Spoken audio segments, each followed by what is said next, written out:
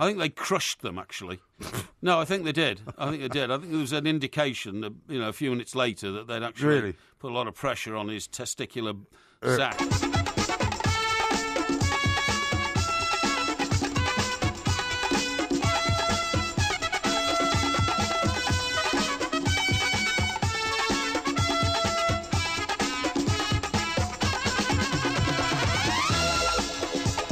This is Talk Sport. We are the two Mikes, and I'm delighted to say it's time to say a very, very good morning to Mr. Mike, a Porky, a Parry. Very good morning to you, Mr. Parry. And a very good morning to you, Mike, and uh, a rip roaring show ahead tonight. There are so many issues that we've got to look There at, are. you know what I mean? Many, many of them, In yes. and around the world, the sporting world, the world of international intrigue and politics, mean, Yes. you name it, it's got to come on the agenda tonight, in my um, view. It's all on this show. I In mean, my this is why view. we do this show because it straddles literally Yes. the behemoths of uh, both Yeah. sports and non-sports. Sure. Uh, we go to the White House. We go down to Sydney, down under with uh, Sandra Lee. He's got Yeah. a lot of uh, stories to talk to us about. Uh, we're going to cover the England uh, selection. Uh, of course, you'll be celebrating the fact that your campaign to get Ross Barkley into the squad was successful. But you must also be uh, have a sort of bittersweet tinge as well because Wayne Rooney not in the squad at all uh, for the first time ever since he was available to be picked. yeah, when he was 17. Yeah, Yeah, I remember Which his is first quite. I mean, I, but nobody's really made much of that. But it seems to me to be a bit of a watershed moment. Well, yeah, but I, he's had such a, an eclectic season Yeah. in the terms of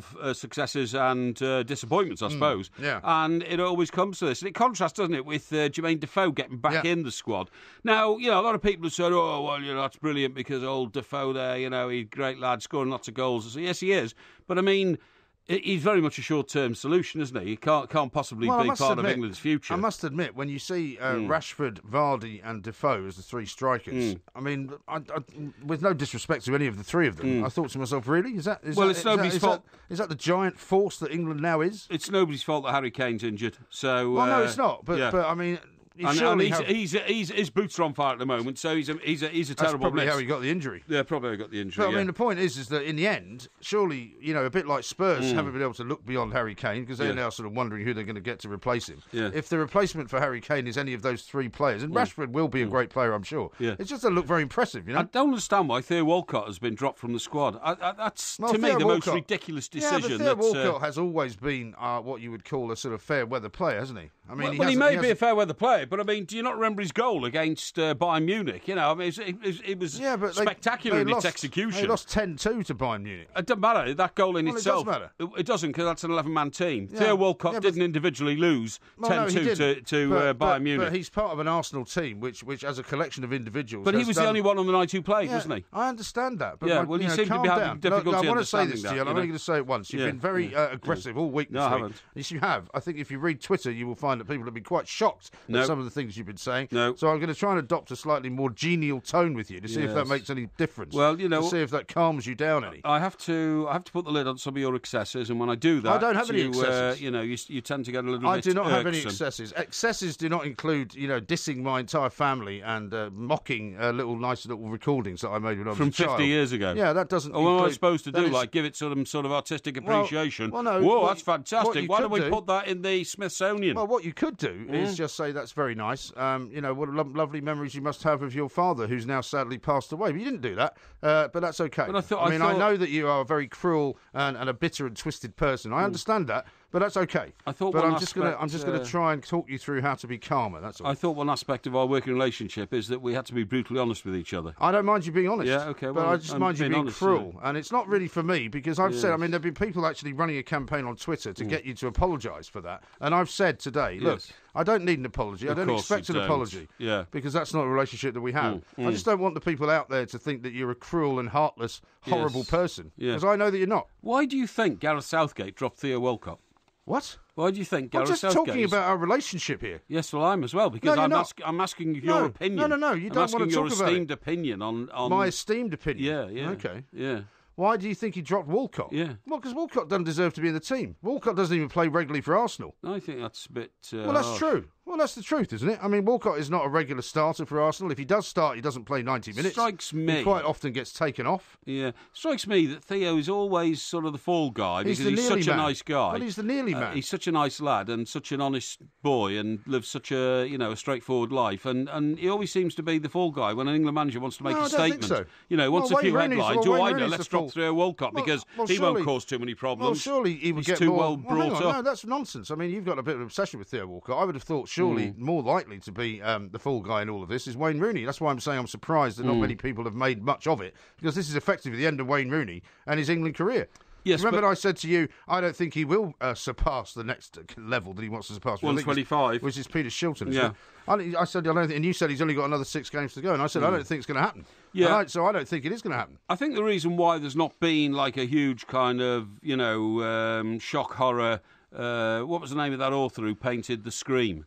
Eh? Edvard Munch. Edvard Munch. I think the reason why there's not a Munch scream type reaction to the Rooney situation is because I think people regard it as an historical natural development in the channels of time, Maybe so. which are you know which are the football, Yeah. the story of English football. Maybe, Uh, maybe you know what I mean? maybe that's true, but it's still And it's quite. ju- and but it's just come quite- to the final but It's still chapter. quite significant, though, isn't it? The fact that he's basically now out of it. The Yeah. England squad. He, he will probably no longer ever Yeah. play for England. Yeah, that's how I would say Uh, that. and I mean, going into this tournament, Mm. uh, the World Cup, he was still the England captain. Yes, uh, but the problem is when players get towards the end of their careers, and it, it's happened over the last two or three years with Lampard, with uh, John Terry, with Steven Gerrard.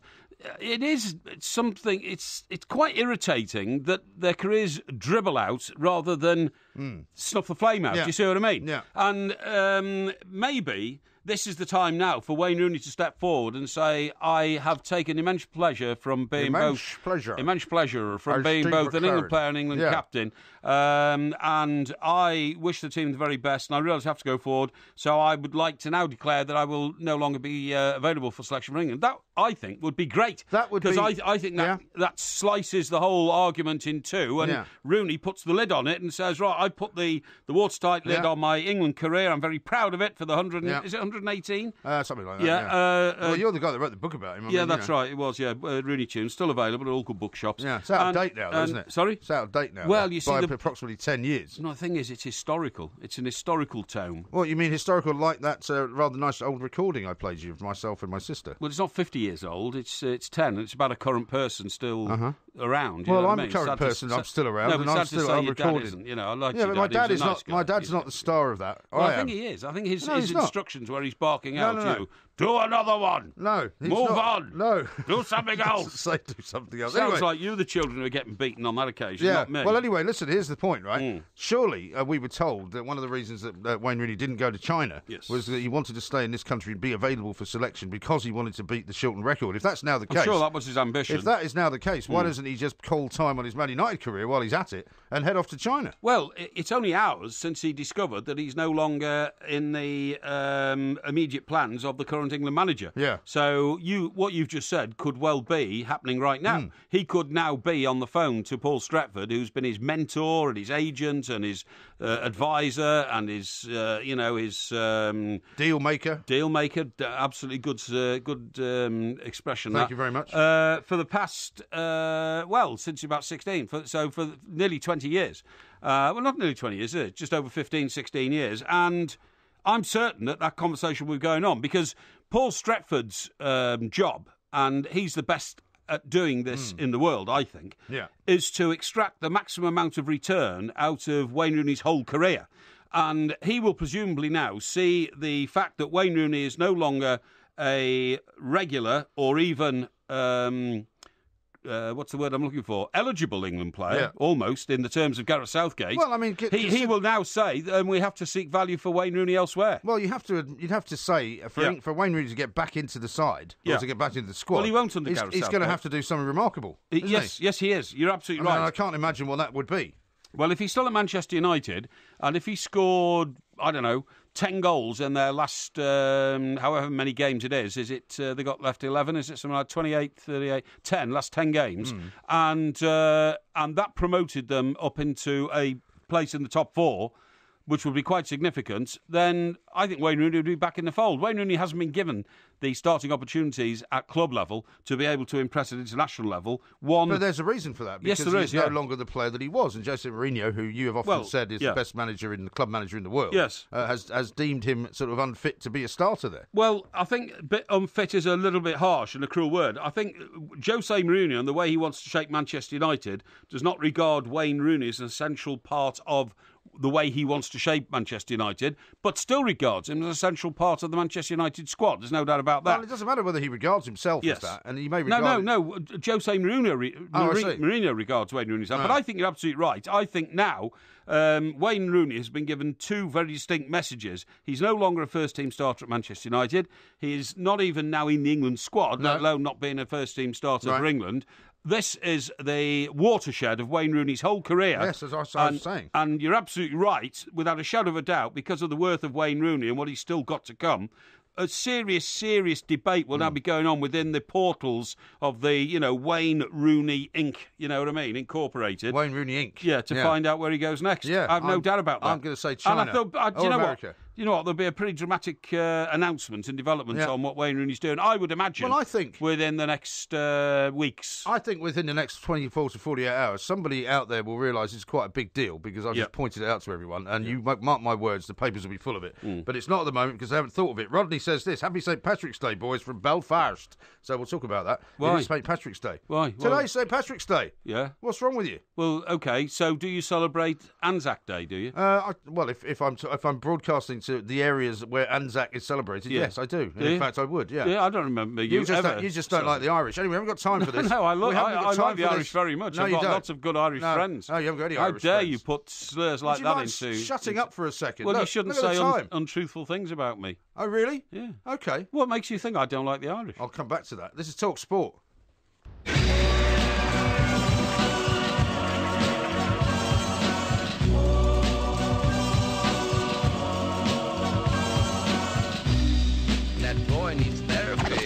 Psychosomatic. That boy needs therapy.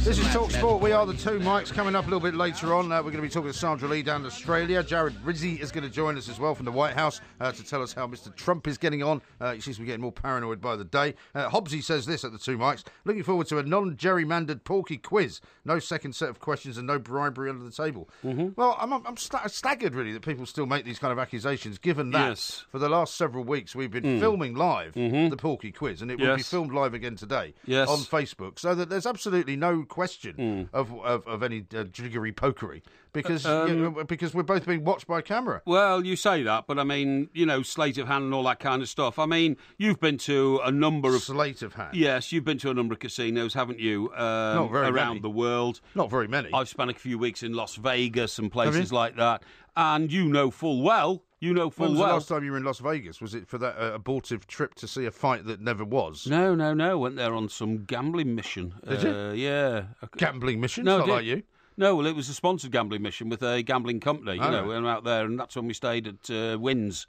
You know, the uh, Steve Wynn's. Steve Wynn's, the hotel that's Yeah. got the uh, Maserati um, dealership in the lobby. Oh, yeah. Well, I don't think it's just Maserati. I think it's quite a lot of the old Yes. uh, top cars. You know what I mean? Because that's what you want to do is win enough money to buy Maserati. I suppose so, and then drive it out the uh, the showroom. And that's then right. get, it st- And- and get it jacked. and off you go. Before you get to the second set one of the lights. things that most shocked me about uh, yeah, that's right. Most one of the things that most shocked me about Las Vegas Yeah. was uh, these these uh, flatback lorries now drive around, you know, Yeah. with huge screens on the back. Yes. And these screens show you uh, very exotic women. Well, this is in Vegas. This is in Vegas. All right. They're driving them down the strip. Oh, they didn't have that technology when I was there. No, no. they're- So they're driving down the strip, right? And they've got these uh, these uh, screens on the back, and these very exotic women are pole dancing, okay, uh, and uh, and Are gyrating they life around. size?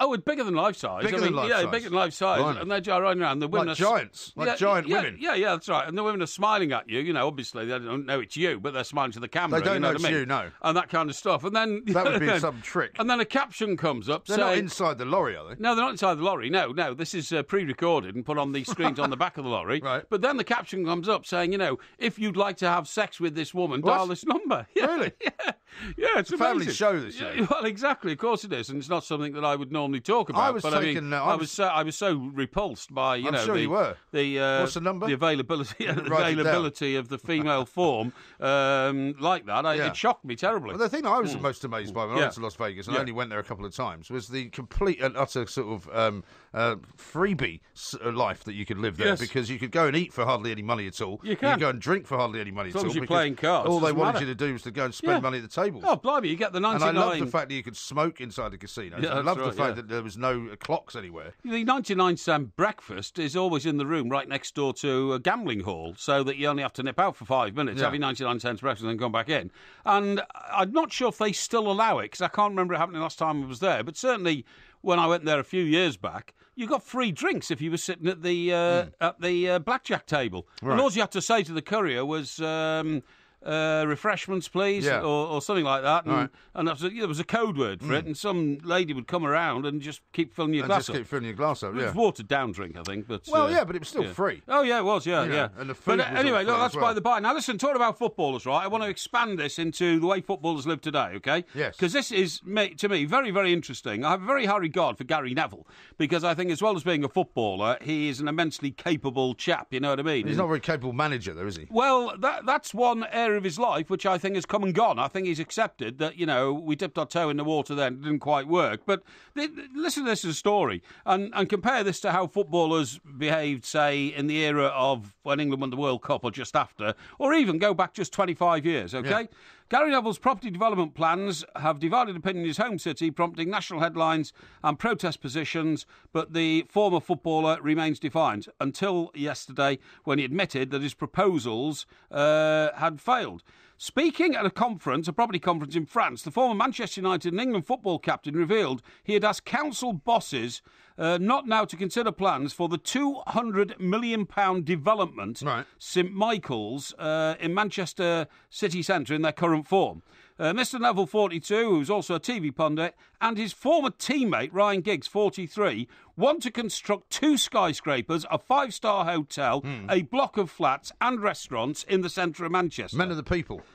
I mean, it's just amazing, isn't it? Isn't Well, that not really. astonishing? I mean, these guys have got so much money that they could pretty pretty much do whatever they wanted. Yeah, of course they can. I mean, they could build a, a yacht. Yeah. They could probably buy an aircraft carrier. Yes. You know, they could develop some some because they've got so much money. Yeah. They've got to do something with it. Well, that is absolutely right. But what I'm saying is, a lot of footballers would be content, really, to sit on their fortune and just enjoy life. Whereas, you know, for for a, a former England fullback to want to get so uh, actively involved in such huge projects. I mean, it, go, it goes on to say, to the horror of local history and conservation groups, it would involve the demolition of the former Bootle Street police station. Hmm. I think a few Manchester United fans have spent a few nights in there after a few I would have thought games. so, yes. Uh, the Manchester Reformed Synagogue, the first post war synagogue to be built in the city, uh, and the Sir Ralph Abercromby. Uh, said to be the inspiration for the pub in the BBC drama Life on Mars. All right. Uh, a petition to save the pub alone has gained more than 5,000 signatures. So this is a pub that he and Giggs want to knock down, is it? yeah. The, Well, the Ralph Abercromby. Do you know this pub? um, I you bet you I've been in there. You must have been. I mean, you must spent have a lot of time in Manchester. If it's Well, a, well, I worked at the Express there for a year, That's what I mean, and, so- and we used to drink up and down Deansgate and Piccadilly, Yeah. you know, every night. So I would imagine I probably have been in there. Right. Um, but I, I just think it's quite astonishing that um, you know a, a man who was a, a. I mean, some former footballers have done great in business, and the the be- best example is probably um, Black. Uh, sorry, Wigan's uh, former owner, Uh-huh. Dave know, Whelan. Dave Whelan, who he broke tells his leg, didn't he, in the cup final? that goes everywhere with it, doesn't he? Has he ever told you about breaking his leg in the cup final? Yeah, I think he has. Yeah, I think he's mentioned Yeah, it once yeah, or twice. e- But the thing is, I mean, guys like Ryan I think it's Giggs, astonishing. Guys Mm. like Ryan Giggs and Gary Yeah. Neville have been at the top of their profession and at the top of the wage earning sort of Yes. pay scale Yeah. for many, many years, Well, right? not at the highest though, because when Gary Neville started and when he was an established United player, when he first played for England, Yeah. I bet he wasn't earning more than about you know fifteen or twenty grand a week. I mean, yeah, what I'm saying is, money to be making over the course of 10 or 20 or 30 years. yeah, but a player playing today at the highest level, Hmm. from the age of twenty-one to thirty-one, will earn could earn quarter of a million pounds a week. You see what I mean? Yeah, but, astonishing but amounts quite, of that's money. quite a rarity, though, isn't it? I well, mean- it is, but they do exist, don't they? I mean- for instance, Yeah, but I mean, the fact that you're thinking now Yeah. twenty thousand a week isn't really very much. Well, I mean, well- it's an awful lot of money, of course uh, to anyone. So, Yeah. if you're, what I'm saying Yeah. is, if you, even if you're making twenty grand a week for ten years, Yeah, right, as a relatively lowly paid member of a Premier League team, that's a Yeah. fortune, you know. Yeah, but I mean, to then have an impact on a city where you really started as a schoolboy footballer and Mm. you're building blinking great skyscrapers in the middle and uh, and blocks of flats. Yeah, and- but they're the new they're the new sort of billionaires, aren't they? They are, yeah, yeah. But I think I think it's terrific, and uh, and Well, I it's terrific up to a point. I mean, if they're not exactly uh, uh, sort of celebrating the heritage of Manchester, and what they want to do is flatten everything that went before them, then maybe that's not such a good thing. I, th- I I think with progress, you're always going to get this clash of uh, of of destiny with dynasty, aren't you? You know well, what I mean? Are, but I mean, I know that you would probably Yeah. Sit on the side of uh, uh, of just wiping everything out and starting again. Well, no, I wouldn't want to wipe everything out, but I mean, uh, you know, I I really love the architecture of the northern cities, and I think you've got to re- uh, uh, really uh, have due respect for. Excuse me for their culture, but at the same time, for any city to move on, it's got to look a lot more like, um, you know, like Singapore than Rochdale, because Well, otherwise probably. people will not go and invest there. That's you know? true, but Yeah. I mean, uh, five star hotels in Manchester are aimed at people who are travelling to Manchester who have got an awful lot of money, Yeah, aren't they? They're not yeah. necessarily going to do much for the city itself, if you see what I mean. Well, yeah, but I mean, if people are travelling to Manchester to do business, it means business is being done in Manchester. That creates wealth. That creates jobs. Well, not that is a good thing. Well, it should be. It That's should a good be. thing. But I wonder if this is all about an economic football bubble. I suppose is what I'm saying. That basically all Yeah. Mm. the people with the money of football, all the people who are coming into Manchester and staying with that kind of money of football. You know, Jose Mourinho, as far as I know, is still living in a hotel in See, Manchester. you wouldn't get involved in that, would you? Well, in what? Well, if you had a lot of money from having worked in a particular profession, Yeah. you would then go and rest your rather ample backside on the sun lounger of Another unnecessary uh, uh, aside. on, on the sun lounger of a yacht which was cruising around the Caribbean. I wouldn't know. And no, you would. You'd be very happy there forever. well, you would. If I didn't have to. That's make, why you and Prince William are very similar. If I didn't have to work, Hmm. um, I, my, there's not. We couldn't be more different, actually. No, I, no, you're I very inherited. similar. Do you know how much I inherited from my uh, my father when he died? Uh, tell me. Nothing something uh, do you know much I inherited from my Nothing. father when he died? No. Nothing. Well, there you are. so, Right, okay. neither, so we have more in common with each other than Yeah. either of us have in common with Prince William, Y- who yeah. inherited from his father, uh, who hasn't yet died, Yes. not only a title, not only uh, the crown, Yes. but also vast amounts of money, which with which he can go and spend Yeah. uh, willy nilly. Yeah, but I get the impression that time, Prince. William uh, is the sort of guy now who's, and his formula for life is similar to I yours. don't know why you've got it in for Prince William. No, no, I It's haven't. the second time you've No, attacked no, him. no. His formula for life is similar to yours, and that is to get the maximum reward out of life for the minimum I effort, Right. which is basically your philosophy Well, he in can life. fly a helicopter, which is more than you can do. But we'll come back to What's this that got to because, do with uh, well, he's achieved quite a lot. How do you know I life. can't fly a helicopter? Because you can't do anything. I've flown helicopters. Oh, don't talk rubbish. I've flown helicopters. Right, well, let's see you fly a helicopter right now, Yeah. tomorrow. We'll leave out of this place and I we'll go do down it. I could and, do it. in- and we'll get into the could heliport and you can fly a helicopter. I could do it. Good luck Yeah. crashing into the river. No, I could do it. This is Talk Sport.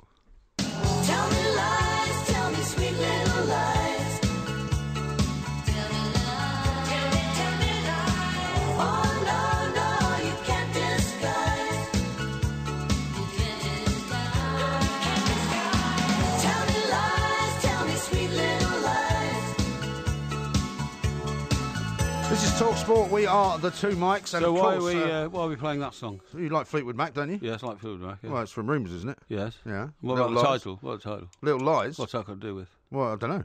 It's just a nice song, isn't it? Oh, really? What do you think? There's some. Well, you see, you get paranoid. You are the Trump of Talk Sport, aren't No, you? no, no. You're getting more and more no, no, paranoid. No, no, not at all. Well, you think there's some rev- uh, sort of rev- ref- Well, you, you, you tried to uh, you tried to rubbish the idea that I can fly a helicopter. Well, all right, let's hear how you can fly a helicopter. All right, I've when had- have I- you had any kind of uh, training in helicopter uh, flying? I? I've I've had three helicopter lessons. what are you laughing at? How many hours do you need to have flown in a, in a, in a helicopter as the pilot before you're given uh, permission to fly? I think it's about twenty. 20 hours. I think it's about 20. I think you'll find it's a few more than that. Maybe it's forty. I think you'll find we it's a few to more than have no, quite seriously. We used to have a staff member here who worked on the PR side of things, who was also a very highly qualified helicopter pilot. Highly qualified. Yeah. Well, either you're a helicopter pilot or you're not. Well, let me tell you. I you. mean, when you be highly qualified helicopter pilot, it's like saying Yeah. it's a very highly qualified bus driver. Well, not really. You could say you're a highly qualified, you know, um, driving instructor because you teach people at, at an advanced level, the police and all that kind of stuff. You see Yeah, what I mean? if that was true, that Yeah. would be fine. But, Yeah. you know, a highly qualified helicopter pilot means nothing to me. Well, okay, I'll tell you what it was. This guy was literally so qualified and so respected in the uh, world of Who uh, was this guy? Pat. Pat. Pat. Pat who? I don't know. I don't You know. don't know? I don't know, but his name was Pat. Was it like the, the Pat figure on Saturday Night Live when I used No. to be in New York? No, And There was this person called Pat, Yeah, and nobody knew yeah. whether it was a man No, or a woman. no, this is And they used to try and work out whether no. Pat went to the women's toilets or the men's No, no, toilets. 'cause no. Pat was one of those no, people. Pat was very much a male, and uh, I can't remember his surname. I know he- exactly who you mean. Yeah, exactly. He used to work in New York. Pat Malone. Thank you very much indeed. There you go. So now you know that this person exists, Yeah, right? but I also know him to be Yeah. something of a, shall we say, exaggerator. No, no. Yes, uh, he well, was. Well, He certainly, was. certainly not in his ability to Well, fly helicopters. Okay. well, he was a very interesting man who I could tell you many stories about. Okay, well, I'll tell you an interesting story about him. Yeah. Right, he worked in our PR division. So uh, I, What was he doing working here in a PR division? A journalist. I don't know. I've no idea. But anyway, you know, these things happen. Some of us have dabbled in PR during the course of our careers. Well, you know what I mean? have never dabbled Yeah. in PR. Yeah, I've never had to sink that well, low, to oh, be honest. oh, no, it's not sinking that low. It's get, it it's getting our business from a, the other perspective, the other side of the fence. No, you see. no, it's anybody becoming- who wants to round their career should have done no, it by now. No, it's becoming lower Yeah. than a snake's belly. That's what it is. Anyway, so I said to Pat, I said, "You're really interesting. I didn't know you were a helicopter pilot." He said, "Oh yeah. Not only is he a helicopter pilot, Right. but you know, you know um, that one of the great ruses when we were in the newspaper world in Fleet, Fleet Street was you used to go to the when you're in any position of power like me, Uh-huh. you'd go to the motoring editor and say, uh, "David, get Porsche to." Uh, well, you would if you a wished. I mean, that is you?" now called um, a sort of um, abuse of power, actually. yeah, it probably is. Yeah. So it was David. Listen, could you get Porsche to bring you a car to Yeah. road test, please? Because um, you're going to give it to me, and I'm going to uh, use it for the weekend to impress a new girlfriend I've got. You know. Yes. So uh, so Julie, the Porsche would arrive, and uh, they'd park it downstairs. yeah, yeah, we know about all that. Yeah. Tell us about the helicopter. Well, what I'm saying is, Pat was so qualified as a helicopter pilot. Did he have a helicopter?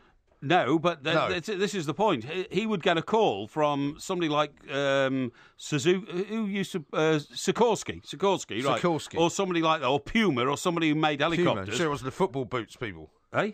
You sure it wasn't the football boots? No, no, no, no, definitely. And and this magazine, you know, like sort of Helicopter Weekly, would ring up and say, "No, they would. No, they would. They would. Helicopter Weekly. No, they would. They Okay. would. And they'd say, hey, Rotary Blade. Yeah, they'd say, yeah, that's Sure it wasn't yeah. just in the Rotary yeah, Club? Yeah, yeah, maybe it was called the Joystick or something Yeah. like that. But No, anyway, that was another magazine. Yeah, yes, probably was. Yeah. So they'd ring up and they'd say, uh, Pat, we've. Um, are you aware that Puma have just uh, built a new sort of, you know, double turbo So, five so blade? Sorry. So let me get this straight. So, so Puma magazine, right? the No, no, house- no, no, no. The heli- Sorry, helicopter, Weekly, Yeah. right, would ring up a guy Yeah. who was sort of moonlighting as a PR for Talk Sport, That's right, which at yeah. that time was sort of held together with sellotape and a few quid. Well, sort of. Yeah, in the early So days. he was yeah. so specifically uh, trained as a Yes. helicopter pilot Yes. Uh, that They'd somehow say- he had to make a living writing press releases Yes, for that's right. Talk Sport. for me. So, um, so then, so then, What a load of old so then they'd say, look, um, Puma have just developed this new twenty-five million pound helicopter. It would probably cost a lot more actually, but anyway, about twenty-five million. Would you uh, mind uh, road testing it for us? Take it on a flight. No, no, uh, this is, What, are you this- telling me that they didn't have any regular pel- helicopter test pilots? No, he was known. He was. A, he was What a was he helicopter. doing here? Well, I can't answer that question. All I can tell you is now Are you sure he wasn't some kind of fantasist? he was not a fantasist. I've, I've been in a helicopter with this guy, so I hope I he's not a wouldn't- I fantasist. I, might not have been here. I so have got in anyway, him. so anyway, he, he was employed to road test helicopters, to Right. fly helicopters around, and then write reports on how good or bad they were, and all this for for this helicopter magazine. Right. So anyway, uh, one time I said, "Look, I fancy becoming a helicopter pilot." He said, "Yeah, I can help you. I'm a." A, a, a trainer as well. I'm a teacher. You I know. can't believe Uh, any of this yeah, at yeah, all. yeah, I find this a staggering story. Well, th- this is an absolutely I true mean, the story. idea that people like you and him would be allowed to fly over the, the sort of streets of London. Yes. Um, you know, it's, it's quite shocking. Well, really. y- funny enough, you should say that. I, I once said to him, I said, "Do they do any health checks on helicopter pilots?" Yeah. And he said, "No." Honestly, in those days, and I hadn't been diagnosed. Well, that's a- not true, actually, because I know somebody who flies a helicopter Yeah. and they have to be tested Well, on a regular things basis. Things have changed then. Things have changed, Hmm. honestly. He said they were very rudimentary. And secondly, I said, you know, when you, like, hire a helicopter, because what you do is you hire helicopters. So I go down to Reigate um, Airport, uh, heliport, Yeah. which is near me in Surrey, in Reigate. Stockbroker Belt, Reigate, and, and and they're flying over my house all the time to and from Reigate, you know. And uh, and and I said I want to. You know, I want to start lessons. He said, "Yeah, sure, come down on Sunday morning." So we go down, and. So it- it's just you and Pat. me and Pat. Yeah. And it was absolutely classic. We walk out to a hangar. He he, he pulls the door back. Yeah. There's this glistening helicopter, Right. which is then rolled out, you know, Uh-huh. on a on a platform. What kind of hel- helicopter was it? It was. Let me think. It was a four seater. Right. Right. Jet so Ranger, maybe?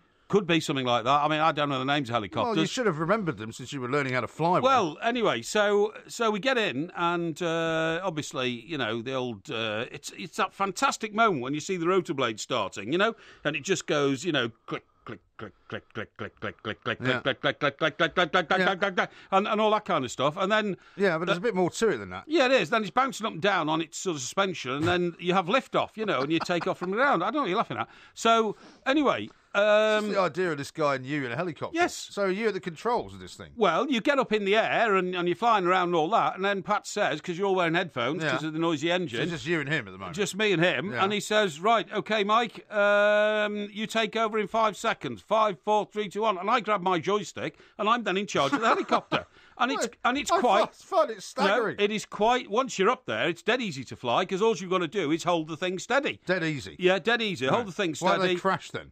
Sorry. Why do they crash? Well, they crash for all sorts of reasons. They hmm. crash for reasons. The, the, the biggest reason they crash is when a helicopter pilot loses that division between the sky and the ground, which usually happens at sea. You can't even see where the sea is. In fact, Pat told me a great story. And well, we haven't is- got time for it. well, uh, it, We'll have to come back to it. well, we're going to have to come back to it then because it is a great, great story. I was going to tell you, and um, A couple of tweets have come in as yeah. well that I'd like to bring to Oh, your right, attention. okay, yeah. Uh, I can't believe I've laughed so much at the phrase helicopter weekly, says Dazza. no mention of it being a journal. Yeah. Uh, Richard says Porky has flown on Concorde and is therefore an astronaut, so flying a heli- helicopter will be a piece of cake for him. exactly. Um, uh, here's one from Emma who says, Remote control helicopters, methinks, Pork's me darling. Oh, no, I've had plenty of tuned in, those. And Pork's is spouting skyscrapers again. Yeah. I thought I had time warped. I don't think so. And James says, Stop lying, Porky. Fly a helicopter. You must be joking. You can't even drive your jalopy.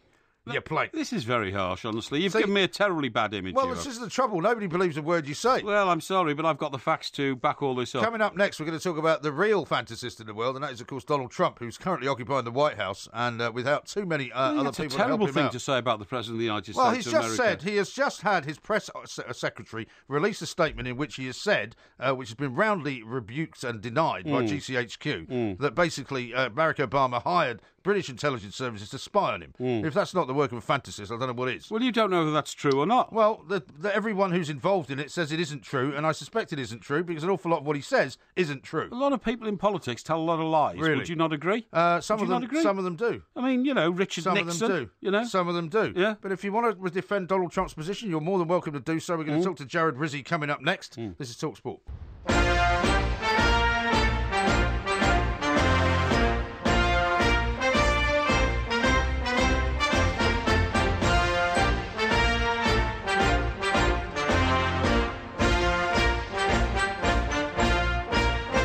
this is not to be confused with a little video that we made uh, just before you went up to Wigan. Of uh, course. I did what can only be Yeah. described as quite a good impersonation of Donald I'd Trump. say we may, have, we may have to revisit Yeah, that. yeah. Do you know, I've got the wig actually sitting at home. Right. Um, which is slightly off and your children have been trying it on. They've been trying it on, Yes, yeah, and yes. and, uh, and and so's the dog actually. Yes. but uh, but we'll come back to that another time because we're going to speak to now genuinely uh, Hmm. Jared Rizzi, who is of course uh, the White House correspondent for Sirius XM. Yeah. Uh, it's been another interesting week in the life of Donald Trump and the uh, 45th presidency. Mm-hmm. Uh, he's had his travel ban um, uh, overturned once again Yeah. uh, by a federal judge That's over in right. Hawaii. Uh, he's also uh, had his uh, his press secretary come out and say that Britain, uh, in the guise of the security services, have somehow been helping Barack Obama to bug him. Mm. Yeah. It's all very strange. Jared, uh, very good morning. Welcome back to the show. Well, well, good to be with you guys. And I was not expecting to have a particularly British angle to talk about with you when, when we were discussing this several hours ago uh, and arranging for me to come on. But Right. here we are. Uh, Sean Spicer has come out and said that GCHQ uh, has has done some things which they have flatly denied. Um, I enjoyed, by the way, the uh, so, somewhat lacking in the normal British understatement here. Utterly ridiculous and Yes. should be ignored. I, I find that uh, that is not uh, per what I would normally uh, ex- expect from. it's- Mm. no, it's not. I mean, he's encouraging others to use undiplomatic language in the same way that he does, really, isn't he? I mean, Mike Parry here, he Mm. has a point when he said earlier, well, I mean, it's not the first time. I'm, I was basically saying that, you know, has Donald Trump turned himself into a bit of a fantasist? Mm. You know, I mean, it's not the first time that, that, that the politicians have told uh, Lies. lies or Yeah. been economical with the Yeah. truth, but, but he's taken it to a new level, isn't he? Well, and this is the thing. I mean, what we would be talking about in any other circumstance is, you know, the president's budget, which is out today, the uh, the the health care reform that uh, House Republicans and Senate Republicans, some of them, a few of them actually, uh, growing fewer and fewer, uh, shrinking fewer and fewer rather, are, are, are trying to put out there. Uh, we would be talking about any of these policy matters, but instead we're talking about something that the president tweeted out at the beginning of the month and has provided no evidence for. The White House still saying that he's going to be vindicated somehow. It feels a lot like the the birtherism, where mm. this is just kind of this this untrue thing that has just metastasized, and there's no way rhetorically out of it. That's what it feels like to someone who's been in the room for both of these. Right. But but it's it's very strange now to see uh, not only you know th- this is a Five Eyes relationship. These countries do not spy on each other, and to accuse of that is is something really. I mean, forget the fact that he's accusing a former president of doing it, but it's also this this completely unprecedented. And I'm getting tired of saying completely unprecedented. to be Yeah. frank. Yeah, right. Jared, isn't uh, this another example of how anti a politician the president is on the basis that most politicians, when they drop a clanger and make a terrible mistake in a, in a you know in a one-off statement, then try and cover it up with all sorts of spokesmen saying what the president really meant was this. Not Donald Trump. He made a statement. Everybody tells us it's it's a ridiculous statement. It's not true, but he just keeps saying it. He has not employed, has he, a team of PR professionals or hired hands or even you know White House staff to get him out of it. But what they have done, guys, is is they've moved the goalposts. You know what the president originally said and tweeted was incendiary. He said that the former president there's there's three big parts to this. The former president, part one, former President Obama. That, that's a big accusation. Uh, uh, uh, set up a wiretap, also a big accusation Yeah. of Trump Tower before. I mean, there's three provable parts to this. None of them have any evidence so far. And by the way, the House and Senate intelligence committees have said no evidence so far. They haven't seen. The president tweeted as if he already had the evidence. All it seems that he's done is essentially look at a couple news reports Hmm. that were talking about opinion columnists from conservative Right. talk me Hmm. talk radio basically you guys but but a little bit farther to one side Yeah. A- and, now we've moved Yeah, a lot, to- a lot farther to one side, actually, if you don't mind me saying so, Jared. Yeah. but, but but here we are now where they're saying, oh, any surveillance ordered by anybody that just happened to target then candidate Trump. That's a big shift of the goalpost. We are playing on Hmm. a totally different field now. Well, right. I mean, it's a little bit like the Sweden thing, isn't it? Where um, Donald Trump came out and said that, you know, look at what happened in Sweden Yeah, last you know, night. like these Um, riots. and when it turned out that they were being, uh, he'd been watching something on Fox that was a documentary, a Hmm. report of some kind. They sort of watered it down to say, yeah, but you know, look at the look at the figures. You know, Sweden's a very dangerous problem because. But of then all a few nights later, in fact, it happened, didn't Well, it? well, it wasn't. It didn't really happen. It's just that, Yeah. it's, it's as you say. They set this hair running, Yeah. and then they decide that they're going to justify it in some way because even one small part of it uh, might be true. Yeah. And with the other part of it that was very much on on display today was attacking the media. It Yeah. was Sean Spicer was coming out here, sword and shield in hand, and the argument was, uh, we are going to uh, talk about how you guys are talking about the story, i.e., you're you're citing the House Intelligence Chairman saying that there's no evidence, but where were you guys when the House Intelligence Chairman said maybe Russia's not such a big deal? As if the media are playing this game of I, I don't even know what, but. th- that is where they're most comfortable with Yeah. us as the enemy, Yeah. and that is a place that's uh, it's a very dangerous place to begin a presidency. Um, listen, Jared, this sounds a bit odd, this, uh, and it may be that I was reading it the wrong way, but did I honestly see a tweet from an official McDonald's source, one of the biggest companies in America? Oh, yes, this is a great story. Yeah, which which today looks as though they publicly have um, barracked the president and said, "We don't want you anymore. Bring back President Obama." What's behind all this? I think this is just some, you know, some social media staffer who is probably going to get fired at the end of the week anyway, deciding to go out in a blaze of glory. I don't think Right. there's much to this beyond uh, a very public brand with a very big. Well, I mean, you're talking you're talking about a world Well, the brand. You're talking about one of the well, most the tweet, famous. Yeah, but I mean, this has happened in the past, hasn't Yeah. it? Where where somebody gets hold of the Twitter account. And, Yes. and funnily enough, uh, I saw a tweet earlier on today from someone where McDonald's is so kind of inept, as quite often some of these big companies are, Yeah. that they put out their apology and their correction, Mm. but the, uh, the the offensive tweet was still pinned to the top of the. Yeah, uh, Oh, exactly. that was so and, good. and the tweet says, Wow. "You are actually a disgusting excuse of a president, Yeah. and we would love to have Barack Obama back. Also, you have tiny hands." Yeah, yeah, very, uh, very odd. But I mean, I suppose that illustrates once again the depth of animosity towards uh, uh, your president, President Trump, amongst a certain section of society, and they're not going away, are they? I don't know if it demonstrates anything beyond the one person who is probably, uh, and by the way, a company that is now probably using two-factor uh, authentication for their Twitter account. Yeah. But you know, the best part of this to me was watching uh, people tweet in response to this. Right. The commercial from I think it was the '90s where Donald Trump and Grimace, the purple giant. Uh, puppet character Hmm. of McDonald's in a commercial together because that's how deeply ingrained the President Trump is in the American psyche. He's been on, you know, television shows, not just his Hmm. own, but like half a dozen sitcoms and commercials for McDonald's. I mean, he's just been everywhere. And so the fact Hmm. that he's on the other side of the McDonald's uh, ledger is, uh, I guess, uh, some kind of uh, uh, cosmic balance. And this is what struck me as interesting as well, because on the, on the uh, at the very moment, in fact, that the, the, the federal judge was blocking his travel ban, sort of part two. Um, he was walking out to a rally. Now, I don't think I've seen, apart from the odd military style um, visit that, that the presidents always used to make to, to a sort of military base, Trump has taken this whole carrier. yeah, he's taken this whole uh, sort of popularity rally thing very, very much to heart. You know, he much prefers to go out and, and, and preach to his fans, doesn't he, rather than actually talk to the press. Well, there's a couple big parts of this, and you've actually nailed on something really big here. Because normally presidents don't even file for reelection for about three years. Hmm. He did it within about three weeks, hmm. and he's already started doing these campaign rallies. They're different from public events of the president because they can actually scoop up your information and then pester you for money. And he also gets to control who's in the room, which is why you'll see fewer people who are protesting at these events because they've controlled the room. Hmm. And yes, the president really does enjoy that. He seems to. I, I guess he almost gets energized by it. But yeah, it's these campaign style rallies two months into the presidency. It's very weird as a White House reporter to be seeing that so early and so hard. He did address the ban, saying that uh, he thinks the courts are making a big mistake. Right. Taking that we're all going to be in, in dire danger because of this uh, this judicial decision. And I suppose that remains to be seen. But it's interesting that the court used his own PR machine to say, Yeah. well, they were on TV late, uh, you know, a few weeks ago saying actually the second part of the ban.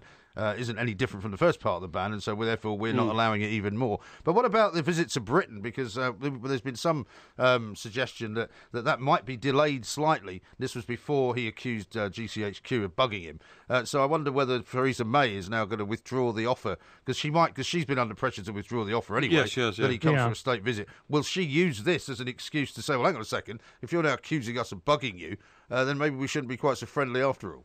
I'm not sure, but uh, the uh, the Taoiseach of Ireland was here at the White House today, and this is, of course, a multi-day affair. Where he, he- the T, the Ireland's prime minister is basically the opposite of the Dalai Lama for American politicians. Everyone wants to meet with him. Everyone wants to be seen meeting with him, Right. and he actually promised going to Ireland first. So maybe in this current climate, Ireland's a bit safer for him to go visit. But at this point, looks like uh, that is still on, and the president's still making promises to go to a number of places around the Good. Very, very fascinating stuff. Well, Dr. Jared, thank you very much indeed. We'll catch Thanks, up with you again soon. Always good uh, to talk luck to you. with the uh, uh, with the impending uh, White House press briefing Mm. uh, because it doesn't seem to be getting any easier for the journalists, which of course it shouldn't be. It No. shouldn't be any easier for them, but No. uh, but it's all very interesting stuff. Katie says this, by the way. Mm-hmm. Uh, please, can you wish my husband Jack a happy 28th birthday?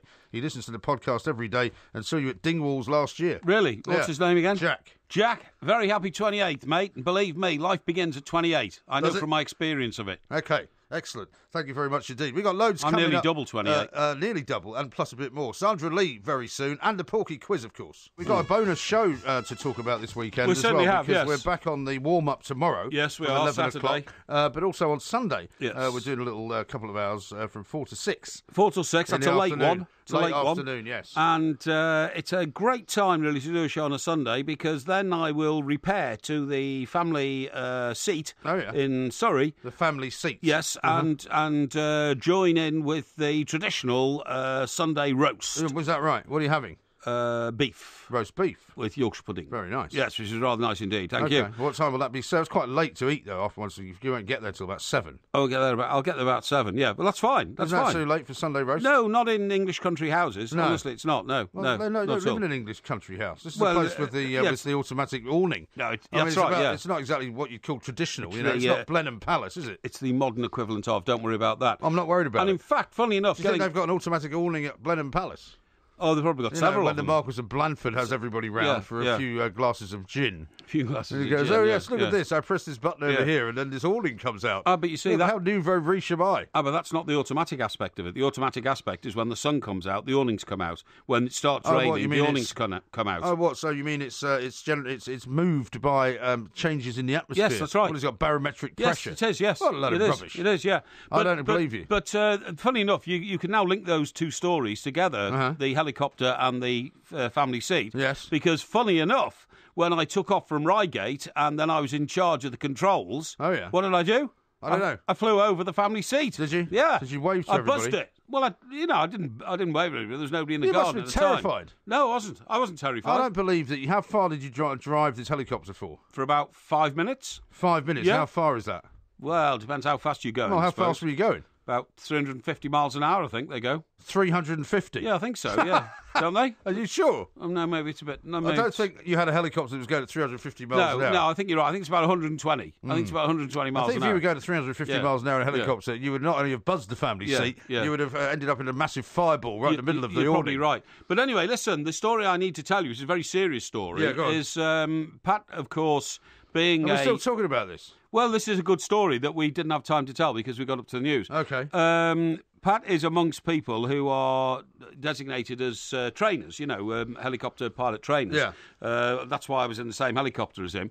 And he told me um, that Matthew Harding, we all remember very well, who tragically died in a helicopter. In a helicopter accident, yeah. Accident, right? Coming back from a Chelsea. No, he wasn't actually. He'd gone on a business trip to the north, but I think he was using the helicopter to get back for a Chelsea match. Yeah. or something like that. Right. But the light had just gone. The darkness had come down. Now, the whichever company uh, Matthew was with that day, they provided a pilot, and the pilot was a relatively new pilot. And I'm not saying for a moment that he was incompetent. He was a fully qualified pilot, Right. but he hadn't had as many night flying hours as some other pilots uh, who do that sort of Wasn't work. there a visibility problem as well? I mean, aside from the, bit, the fact that it was dark, was there not also a, uh, a bit of mist or something as well? Well, nobody really knows, I'm afraid, Hmm. because you know the, the crash report can only be written after the event and all that kind of stuff. You know, Right. there's no actually witnesses because sadly everybody on board died. But the the what Pat told me was he said that that chap that night was not the most experienced helicopter pilot. There's nothing wrong with him, Hmm. but under any other circumstances, sometimes a helicopter pilot has to say to their passenger, Look, I'm sorry, but I'm not confident about the conditions in which you've got to fly back. Yeah. Whatever those conditions might be. right. Darkness, as you quite rightly mm. say, mist, too much cloud cover, Yeah. maybe torrential rain or something like that. Mm. And and this chap apparently had not long been with the company and did not volunteer that he was in any way uh, hesitant about Right. the conditions. Okay. Got into the helicopter, flew it. The helicopter on the way back um, came down in a copse. And it, uh, according Did to it, the did it hit a pylon or something? no, according to the report, it simply got wrong the division between the land and the and the sky Uh-huh. because it was dark and there's no natural sort of laria, uh, so, so- sorry, a light difference between uh, the two. And um, and according to the crash report, the helicopter came down, skidded in a field Yeah. on the you know on the skids that a helicopter has to land on. And literally, then went like a sleigh straight into a copse of wood, Right. and was smashed to pieces in trees, and uh, and the resulting tragedy that ensued. Yes. terrible business. Was that the story you were going to tell me? That was the story I was going to tell you. Yeah, yeah, yeah. Mm. Because I got one here from Anthony. It says a 350 mile per hour helicopter. What was Porky flying? Airwolf. Yeah, that's right. Yeah, no, I will accept it wasn't going that fast. I mean, I Well, surely if you flew a helicopter, I mean that would be one of the highlights of anybody's life. Yes, it I would would have be, yeah, thought. yeah. You can't remember what what speed you were going. Well, you at. can't. I mean, look. What I've- altitude were you at? uh, altitude, I would say about. I mean, were you looking at the uh, instruments at all? Yeah, yeah, yeah. I would say, I'd say it's about a thousand feet. A thousand feet. Yeah, yeah. Literally, yeah. And did you uh, literally? Yes. What you mean actually? Actually, actually, yeah, yeah. Uh, and in fact, I tell you what happened as we. I mean, were you instructed, for example, not to go below a certain level? Well, no, because all I did was literally hold. I keep saying literally. I'm sorry about this Yeah, because people, have have pointed, pointed out this that I out. keep that saying you this, keep yeah. saying it without realising Yeah. that you keep saying it. Yeah, in fact, I It's- said it's something. literally ridiculous. I said something um, with the word literally in it the other night, Hmm. and, and it was ridiculous because it's. Uh, oh, yeah, I know what I said. I said. Um, uh, uh, yes, I said squash bores me to death. It Literally, literally bores yeah, me to death. right. But as I'm Which still here, doesn't. as I'm still after watching squash and I'm still alive, that was an inaccurate uh, use of the grammatical English language. Yeah. So no, what I was going to say was I, I was just flying it on a on a uh, constant um, sort of level. You see what I mean? yeah, but did he not say to you, whatever you do, don't go below a certain level? Well, no, because it was only flying at one level. I didn't take it up or take it down. Oh, yeah, but the What joystick controls the height, doesn't it? to- uh, yes, but but what he said was, yeah, but he just said hold it steady like that, and Right. it just shakes a bit and all that. But the reason I'm very concerned about the fact no. that this is the way that they teach people how to fly. the reason you do that is because you have to be immediately given a test to see whether your nerve Hmm. will uh, stand you um, solo flying the helicopter. All right. That's what they have and to what do about first. steering the thing? Well, you do all that on the same. You do that with uh, like uh, foot pedals. Foot pedal. Yeah. So what? You press one foot pedal to go right and one to go left. Yes, basically, yeah, because that And so controls did the you- rudder Did at the you back. do any of that? Yeah, I did a bit of that. Yeah. So you go from side to side. No, we, we were sort of turning. You know, Turning? yeah, and then and then uh, sort, Sort of of coming back. Yes, that's right. Are yeah. you sure you did any of this? Yeah, of course I did. Oh, it doesn't sound like but it. I did it to the immediate instruction of the instructor sitting next to me, you know, who said, do that, do that, do that. So Do I was, yeah, I was really quite robotic, you know, in what I was doing, you know? How about this from Hmm. William? Another entry for Porky's resume. Helicopter pilot. Yeah, that's right, Porky yeah. Biggles. Yeah. Andy in the Peak says, God's buttocks, Porky in a copter. I can see the opening of Apocalypse Now. A whoop of the blades, right, yeah. followed by, Well- this is the end. Well, the funny My thing is, do, do you know what? friend. Do you know what? You, funny you should say that. When we came back down into Reigate Heliport, Yeah. we got down. Reigate Heliport. Yeah, that's true. And then we had to hover um, for a, a, a couple of minutes. And I said, "What are you doing, Pat?" He said, uh, "There's no space." He said, "There's a lot of instructors out on a Sunday morning. It was a Sunday morning. Well, it's not And- exactly Heathrow, is it?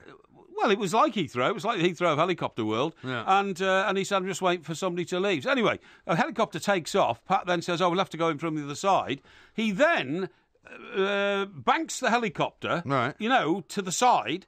And he goes right round the edge of the field and comes back in. And I'm going, uh, uh, uh, uh you know, because I'm worried that the rotors are going to hit the Have you had ground. a drink at any of this point? No, no, You no. didn't I have a flask with you? No, anything? no, nothing like that. You sure? And I, and I said, what that, what's that manoeuvre called? And he said, it's called the Vietnam roll. Really? And, and I said, why? He said it was developed in Vietnam by the helicopter pilots there to avoid, if you see what I mean, direct gunfire into the cockpit and all that kind of stuff. yeah. Yeah, How about this from yeah. Robbie? He says, Porky, you need a medical class two certificate to fly and learn to fly a helicopter. Is that right? I Yeah. didn't know that. Well, that, nobody said that to me in those days, and in fact, I didn't have to produce a medical certificate or anything like that. So that must be a Just new as- invention. Just as well. Mm. Well, I mean, it sounds like a fascinating afternoon. Yeah. You see, if I'd been given the opportunity to fly a helicopter, Yeah. Um, even if it was only for five minutes, I would have remembered all every single aspect. well, I do. What don't I remember? Well, you don't know what speed you were going at. You don't know what height you were going Well, at. listen, uh, listen. Okay, uh, have you flown in uh, small private planes? Yeah. Right. How fast do they go? How fast do they go? Yeah. Well, they go about the same speed. It depends on the plane. If it's a prop Well, that's plane. exactly what I'm saying. Well, so you don't you don't log these Well, things no, but necessarily. No, but if I'm a passenger, I'm not looking at the instrument panel, right? That's Hmm. yeah. like saying, you know, when you were driving somebody else's car, Yes. how fast was it going? If you're driving it, you know. Yes. Okay. Yes. If I'm taking off in a, a Piper Cherokee, Yeah. it takes off at probably around about 150 miles an hour because it's not a jet plane. it's Mm, that's a jet true. prop. If you're taking off in a jet, In it, a tends to, it tends to go at about 200, 220. yeah, I agree. You know, I mean, but I'm not driving it. Yes, yeah. If you're in charge of a helicopter, you should know what height you're at Yeah. because he should tell you. Yeah. And he should tell you exactly what speed you're doing. Yeah, but when you're on a train, you don't suddenly think to yourself, "Oh, I wonder how fast No, this train you're is not going." driving it, it, just though. goes. But you're driving a helicopter. Yeah, well, you know, piloting it's called. It actually. sounds it sounds incredibly dangerous. Well- the fact that he let some bum Yeah. at the hands of a control uh, set of, uh, of very dangerous and, and advanced controls Yes. without actually making him It has- understand what it was about. It has definitely Find whetted my appetite to resume helicopter lessons Well, and get myself was a helicopter anyway? license. Oh, it was a few years back now. Well, how many years? Well, I don't know, about six, seven, something like that. Six or seven? Yeah, yeah. More so. than that, surely. No, well, it could have been. Could have been ten. Could have been ten, I suppose. You know, who knows? Well, this was when you were running Talk Sport, Hmm. right? Uh, no, I wasn't. No, no. No. But uh, oh, here, look, somebody sent me a picture of. Uh, oh, this is very cruel. Somebody sent me a picture of Porky's first flight, Yeah. and it looks like a true helicopter until it comes to the ground, and it's a toy. By the way, we've had plenty of those in the, the time, by the way. in the uh, Parry family household over the years. What? The toy helicopters in the kitchen, Why? which you, you fly by remote control. Yeah, the kids' toys. Yeah, that's right. They are. Yeah, Well, but why the- have you got them? Well, because you know everybody likes playing around with helicopters in the kitchen when you're making the Christmas lunch, don't you? I haven't. No, No, yeah. actually. No, well, I you've mean, got two boys. Why have you never bought I them a helicopter to play? incredible- uh, I- I bought them a helicopter. No, you didn't. You I- bought them that balsa wood plane. No, I didn't. In- You did. You bought a balsa wood plane. one of your crashed into a lads. Tree. I did bring a helicopter. No, you forgot forgotten when I came to your house. I definitely did. No, Yeah, don't think so. search your memory. You did. No, I did because it crashed it. a couple of times and they had to uh, Yeah. fix the rotors. Yeah, well, I've got now got this impression of the Yeah. family, uh, Parry family Christmas. With all these drunken maniacs flying helicopters into each other. Yeah, well, Bizarre scene. Anyway, uh, we've got like more that. to come. This Indeed. is Talk Sport. crazy. But that's how it goes. Millions of people living as hoes. Yeah, yeah, but maybe it's not too late. Talk Sport, we are the two mics. Porky quiz time later on. It's going to be live on Facebook, of course, so uh, keep your eyes on that. And we'll do a link on uh, Twitter, of course, as well. Sandra Lee's going to join us very shortly. Mm-hmm. Good. But I've got a story for you, right, Oh, today. yes. Because I was terrified, not terrified, but horrified to see uh, the Mount footage Etna. from Mount Etna. I saw it. in all the papers this morning as well. Yeah. Um, there's a BBC crew, some of whom were quite badly injured. very, very close to it, didn't right they? up at the top. That's and what, right. the reason I'm going to uh, tell you about it is because, as you Yeah. know, we went to uh, Sicily over in, uh, in October. Certainly did. And lived uh, in Yeah. this place that was sort of in the shadow of Yep. Etna. Yep. And I told you about how in the garden they had all these, um, uh, an- a load of ash from one of the last eruptions, right, which yeah. had come all over the house. Yeah, yeah. But there's a great picture of me, which I'm going to put out now on Twitter. Why is it a great picture? Because it's me standing uh, basically right near the top of Etna. what? While it's erupting? Well, it wasn't erupting, but you can see smoke coming out of Well, it, right? hang on. What's great about it if it's not erupting? Uh, well, it's great because It's just a it- picture of it- you on a it's- it some shows sort of hill. Could be any hill anywhere in the world. Well, it's not just that. It shows me at the top of a, of a place, which is Hmm. uh, you know an incredibly um, you know incredibly dangerous place to be. Yeah. Because these things that when they do erupt, and people forget. yeah, but hang on, hang on, hang on. nature You're is. trying to make out that you were, you know, gritted your teeth and walked up Yeah. in the, in the face in the face of molten lava. You'll see it. Look, you can see it smoking Excuse me, behind me. You can see it smoking behind me. Right, I'll just describe this. I'll paint pictures with words. right, and okay. then, well, I can tweet it out so, as well. By so the way, you appear to be standing on a sort of uh, gravel car park, right? it's not a gravel car park. that is the ash which surrounds which Right. surrounds the summit of Etna. About six miles, I would say, from uh, Etna itself. Not at all. Uh, you say there is smoke coming out the top of Etna. Yes. I say it looks like a low cloud settling on the top of Etna. That's why exactly why, what it looks why like. are you so mealy mouthed and incapable of no, accepting that no. I've actually done anything? You're trying to make out you've made this dangerous mission up Etna. I'm telling you. Well, how do you think I got up there? it's co- well, it's complete. Well, you probably climbed up there, but No, you weren't. No, you weren't did not. climbing over No. molten lava. I did not climb this up is, there. This is not you a, complete plank. I this is- a there's a cable car which takes you all the way to the top, right? Well, There yeah. is then a further bus that takes you to the very, very uh, uh, dangerous summit part. which So, as where- I said, you're in a car park, people- yeah. No, I'm not in a car park. It looks like you're in a car well, park. that's because you don't understand the nature of volcanic ash. All around that picture is volcanic ash. Is it really? That's yeah. what it is. It's Yeah. black. Could be anything, mate. Could be anything. I don't know why I bother showing you anything, which is Well, of any interest. all I'm trying to Let's say go back to your fantasy stories No. about flying a helicopter, shall we? No, no. Here we are. There's no po- no photographs of you flying a helicopter, but we Here spent are. 20 minutes talking about it. Here we I are. show you a photograph of me on Etna, and you immediately But you're not on Etna. it. You're not on I'm Etna. standing at the top of Etna, you You- plank. You're standing on the foothills of Etna You've never, you've never even been there, have you? You're standing on the foothills You've of Etna. You've never been there. There's a few bits of rubble around, but there's no sign of red hot molten lava. What do you think the smoke is? It's a, uh, to me, it's not doesn't look like smoke. Looks like low cloud. Well, of course Looks you like are a size, seismology expert, And uh, the other thing I would say is that you look so frightened about, you know, being suddenly burnt by lava. You've got a pair of white shorts on. You've got a, a you know, like a pasty blue sort of uh, t-shirt and uh, a, a? It's a jumper, polo shirt, actually. polo shirt. And I'm so frightened that I've got a jumper sort of draped over my shoulders. yeah, Yeah, right. yeah, exactly. So, so all I'm saying is, how, how, can you possibly pass this off to our millions of listeners as Yeah. you know the terrifying trip up Etna? I'm not saying it's terrifying. Etna. I'm not saying it's Nowhere near. terrifying. I'm just saying, isn't it interesting that I was there not very long ago? I'm sorry you're not interested in it because you're not in the picture, but I Hmm. Will send the picture out, uh, and the people who have been to Etna will understand how high up I actually am. Yes. In fact, I'll tell you how high up it was. The air was considerably thinner than it was at the base of the mountain. Oh, Okay. Oh, yeah. Because told I mean, that? Well, I could tell by the way I was breathing. but because you walked up about 400 No, I yards. hadn't. I took a. you I know. I, you don't listen to a word I'm saying. No, I took a cable car up there. Well, okay? I tell you what, just getting out the cable cars hmm. really puffed you out because you. Yeah. you carry Okay. such a gross right. amount of weight in your Let's on your go own back frame. to some more tales from Porky's fantasy world, then, shall we? Let's tell. Let's talk about the time you drove a submarine, shall we?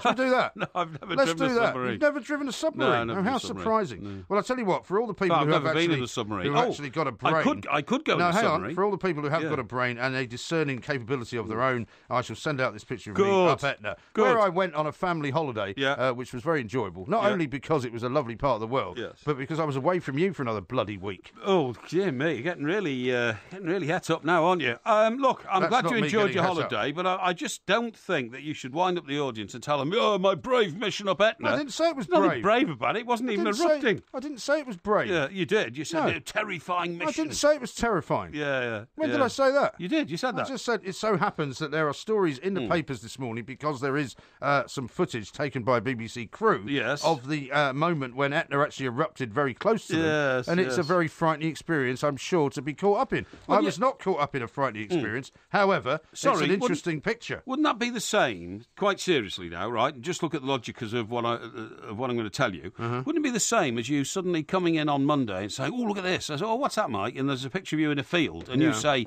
"You won't believe this, but uh, that was the scene of the Battle of Hastings in 1066." Uh, wasn't I brave to uh, go on to the battlefield of Hastings in 1066? And I would say, but there is no battle taking place, Mike. It's not like you're going to get an arrow in the eye. It's not like you're getting trampled by war horses. Nothing's happening there. That's exactly the same as your picture on me bravely, you know, Well, you see, scaling well, again, the you're slopes of projecting, Etna. You're projecting your own ridiculously fantastical personality No. onto one of my stories. I never said I was brave. I never said uh, that it was dangerous. did. What I said I was, you did, well, honestly. I don't want to. I don't want to have if- a go at you, but I think you if people want to want to want to ask me whether I Yeah. said that, uh, whether they remember whether I said that, Yes. that's one thing. But Yes. I certainly am not in the business of exaggerating every story that I tell. no. All I'm saying is, is that given that it's in the news, it's quite an interesting picture, and I'm going to put it out. Mm. Yeah, I- and I'm I like sorry that you you should. don't like that you're not in it. And I'm sorry that you don't like that we're talking about something which doesn't involve No, you. no, I and want I'm you to sorry that out. you're now rubbishing something else, which I've done with my family. I'm not but If you want to be that kind of a guy, that's fine. Just fine. I'm not trying to rubbish Absolutely no problem. I'm just putting it into perspective. That's all, and that's my job, okay. isn't it? You know, as Let's a, hear some more.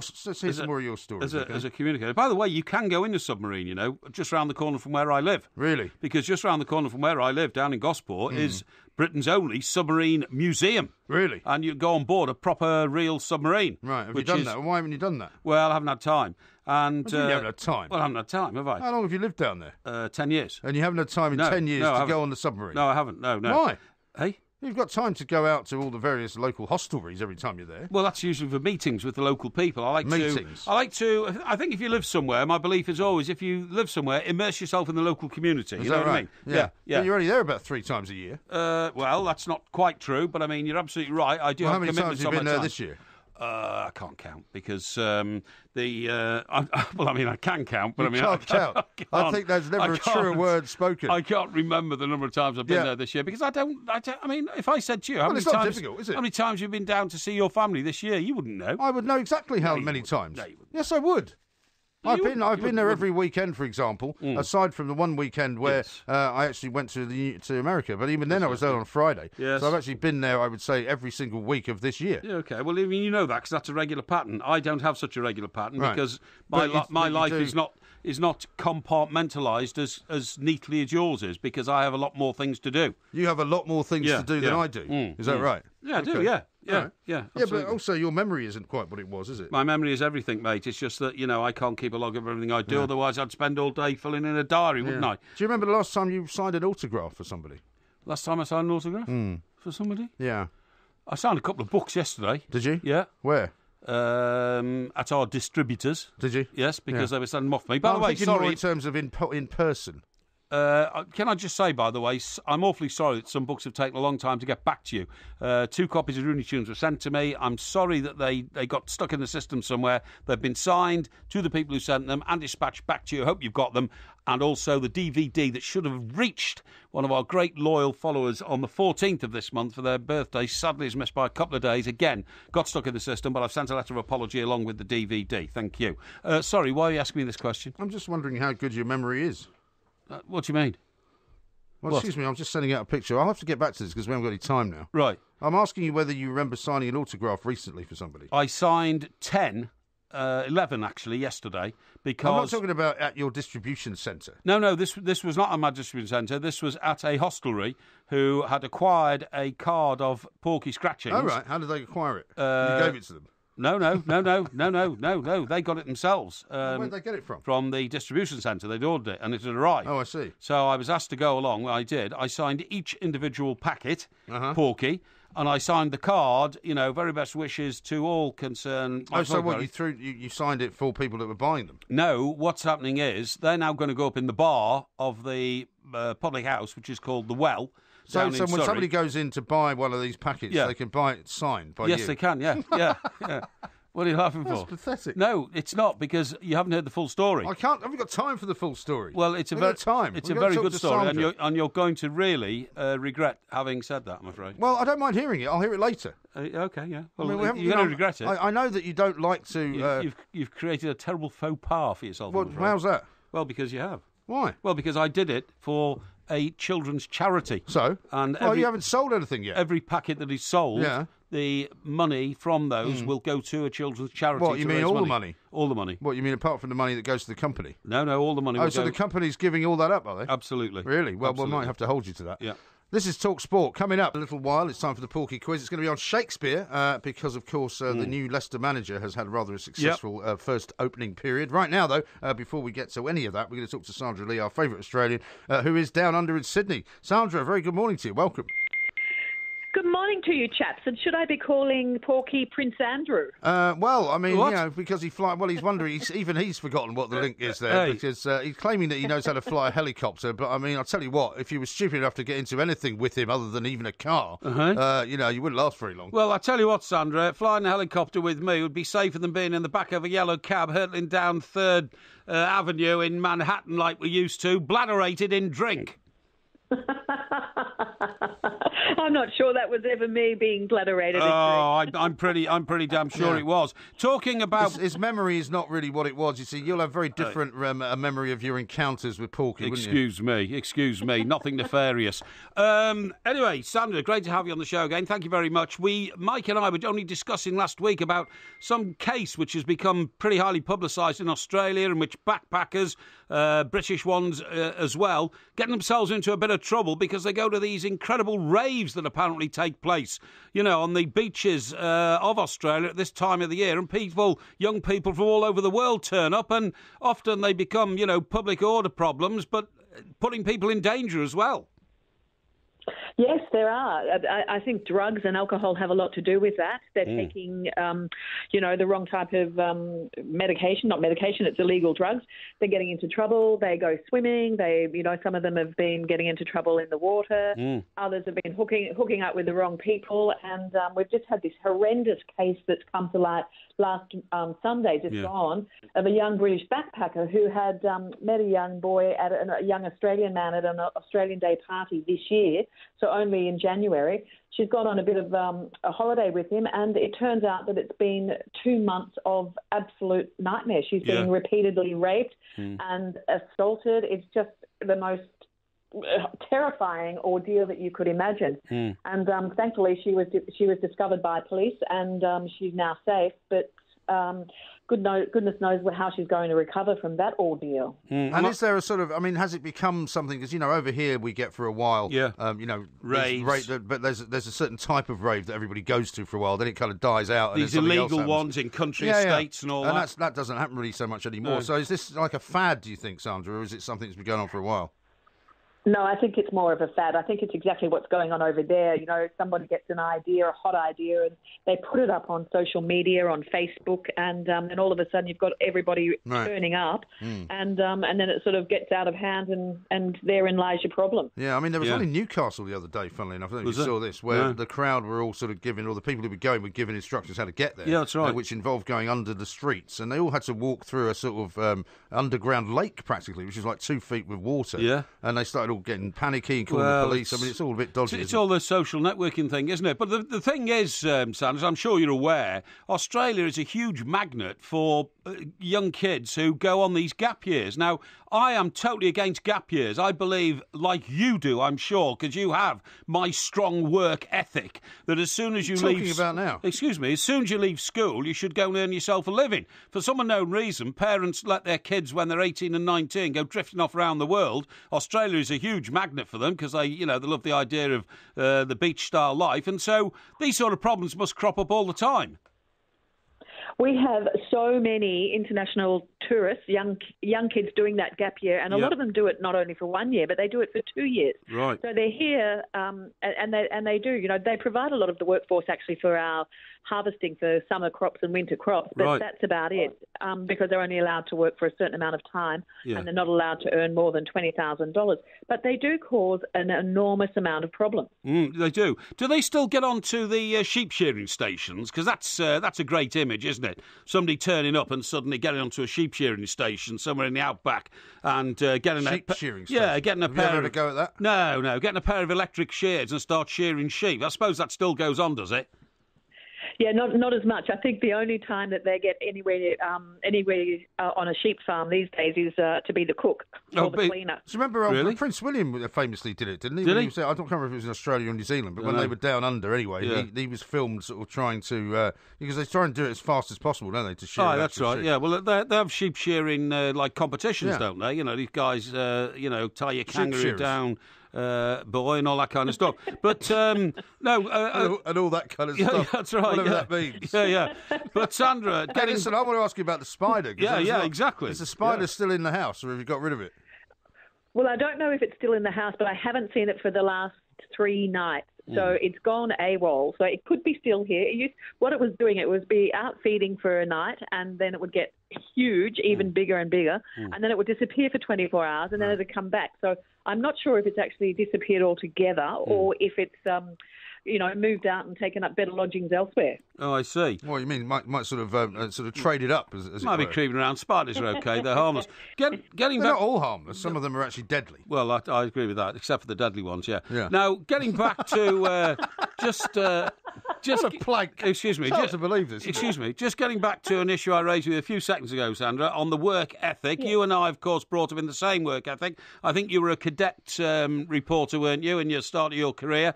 And uh, I was a trainee journalist. But in this country these Yeah. days, the when, work you, when are you going to qualify? the, the work ethic has, has all but disappeared because of the liberalisation of the whole of society. Is that the same in Australia? Do young people in Australia still want to, you know, make their names and their fortunes by working hard? Well, I think there are some people who do, but I think there's a real sense of entitlement along a lot of young kids. Um, They get out of university and they think that they can go straight into a, you know, a ninety thousand dollar job straight away Yes, without right. having to do any of the hard, eh, without doing the hard yards. Yeah. And um, you're right. There's, there's, there was a report out this week in Australia Mm-hmm. actually that in um, the last uh, the last two years in New South Wales, which is where I live, Yeah. that the number of apprentices taking up apprenticeships, which is you know sort of doing your three year trade and Yeah. all your training, Mm. has dropped by 50%. So we have fewer. 50% fewer new um, sparkies, electricians, Yeah. um, chippies be, being builders. We, we, we, we're going to have a massive problem in the years to come. You see, that is uh, that is dreadful. And do, do you know same, what? same situation here. Isn't It- it? Of course it is. In this country, we used to have universities running alongside technical colleges, and the technical colleges taught people how to be plumbers and bricklayers and that sort of thing. That's all but gone. Polytechnics they had yeah, as well, didn't yeah, they? it's all but gone. It's all but gone. Is that the same in, in your country? It's absolutely the same. And what they're doing is they're trying to shove through a whole pile of um, young students into university who really don't have the desire or the aptitude or the um, the nous to do it. And Yeah. it's just ridiculous. It's creating, you know, a whole pile of graduates who've got no jobs to go to and no real qualifications. Well, I no, tell it's you what, interesting. We it's were talking. here. Uh, we were Yeah. talking uh, to a correspondent over in the White House uh, quite recently, Hmm. just about an hour or so ago, about Donald Trump. And I mean, I was seeing that one of uh, former one of the first ambassadors to China for Australia, Stephen Fitzgerald, was talking about this the other day. That actually, a bit like that badge we used to see in New York. You know, it's Frank's world, we all live in it. It's actually China's world, and we all live in it now. So, um, you know, is it time that Australia is going to look, or other countries going to look at having more of an important relationship with China than say with America and the rest of Europe? Well, I think that Australia has a pretty important relationship with China already, but I don't think anyone would argue that our relationship, our primary relationship, will for a very long time to come not be with America. It's just um, it's the superpower. Even though we have huge trade links and huge diplomatic ties with China, uh, America is still going to be number one. Oh. And that report, that chap who you were talking about, is a is a lifelong Sinophile, Right. and um, and he tends to be from the left of um, you know uh, political spectrum, which is where they all are. Yeah, no, I- that's right. Uh, we'll put America down, all that kind of stuff. Just, um, just finally, Sandra, I've got you on, I've got a report in front of me. Eighty-five percent of the Great Barrier Reef coral is being badly damaged by warming seas. Uh, you know, it's it's like a natural um, uh, happening. Uh, uh, is this something you're aware of? Yes, it is. In fact, it's um, so we've talked about this before too. Uh, Yeah. Last year there was a problem with the bleaching of the coral, and the same thing has happened again this summer with Yeah. the um, sort of the slight percentage increase in sea temperature. But it happened. It's been happening um, since year dot. It it comes and goes. You know. Right, it recovers. It gets bleached. It recovers. It goes goes along fabulously for twenty or thirty years, and then you know Hmm. you have the same cycle. Sure, sure. And and, and just finally, Sandra. Well, then we need to get an update on the kangaroo attacks. well, though. the kangaroo attack in a minute, but I, I've got you something. just said one finally already. so it's the second No, but Sandra will be interested in this. You remember the uh, mutiny on the Bounty? Obviously, you know, a great uh, happening historically. You know that we a new report suggested it wasn't actually uh, Captain Bligh, the guy who was uh, who was cast away in the boat, who was mad. It was Fletcher Christian who was a nutter and uh, completely mad, and that Captain Bligh was one of the greatest sailors ever because in that little rowing boat into which he was put, he managed to navigate his way through the Great Barrier Reef without any charts or anything, just looking at the sun. This man was a genius. Is that recognised in Australia? Uh, yes, I think it is. I, th- I, I think that um, the two sides. Hold the front story on that page, one, right? It's a story from like 200 years ago. Well, I'm telling you, You're I- mad. I'm- no, he did. he, he did. I mean, you, we all know the story. We all know the story of the mutiny on the Bounty, don't we? And and the well, fact. apparently not, because apparently everything's not as it would seem. You know. Yeah, but no, no, you've interrupted Sandra. Sandra was telling me how Blimey. in in in how high esteem is that man held in Australia? Oh, I, I, look, I don't know very much about it, but I would What? say um, in some some esteem. Yeah, in some Yeah. esteem. Yeah, let's wait That's until, a cop out. wait until there's another movie made. You know, maybe you could play Fletcher Christian, Yeah, well, the nutter. well, yeah, he was a nutter. He Yeah. was a madman. Captain Bligh was a good guy. Okay, Sandra, thank you very much indeed, as ever. I'm terribly sorry that the uh, the conversation seemed to sort of uh, ratchet off into What? some bizarre direction No. of Porky's imagination. Not Have a at lovely all. time and give our regards to the spider. Yeah. Sandra Lee there, uh, reporting in from uh, New South Wales, Mm-hmm. uh, Sydney, of course, to be precise. Mm. Um, here's one from Steve. Uh, uh, it says this uh, Great shows. Oh, hang on, sorry, this is from Chris. Great Mm. shows always, guys. Could you give my little boy Ronnie, who was born yesterday, a shout out? So, Wow. born yesterday. Wow. Newest young listener to the show. One day old Ronnie. Ronnie. Ronnie, congratulations on coming into this world. We'll try and make it good for you, and you have a long and productive life. Thank you very Don't- much indeed. Don't take the path in life that MG's taken, Yeah, otherwise you'll turn out a wrong. Ronnie's a great name for a baby, isn't It is, it? isn't it? It's Yeah. talk sport.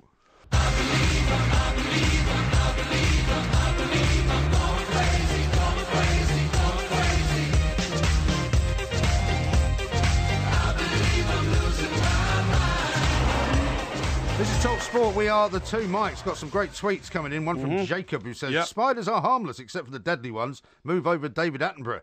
Mike now, Parry is here. Come on, everybody That's knows exactly good. what I meant there. You Uh, know? somebody else, uh, Campalot, says that you do bear quite a resemblance to the captain of the Titanic. Mm-hmm. Um, I don't know what reference that is to, presumably when you drove a cruise ship somewhere. Captain of the Titanic. I never drove a cruise ship. Did been you? on a few cruise ships. Been on the uh, been on the Queen uh, Elizabeth II, Really? probably the most famous cruise ship of all time. Well, it yes, may, yes. maybe it was at one time. Yes. Lots of people are commenting on my picture of Etna. Yeah. Uh, Scottish Bull says a pity we couldn't throw Porky into Etna.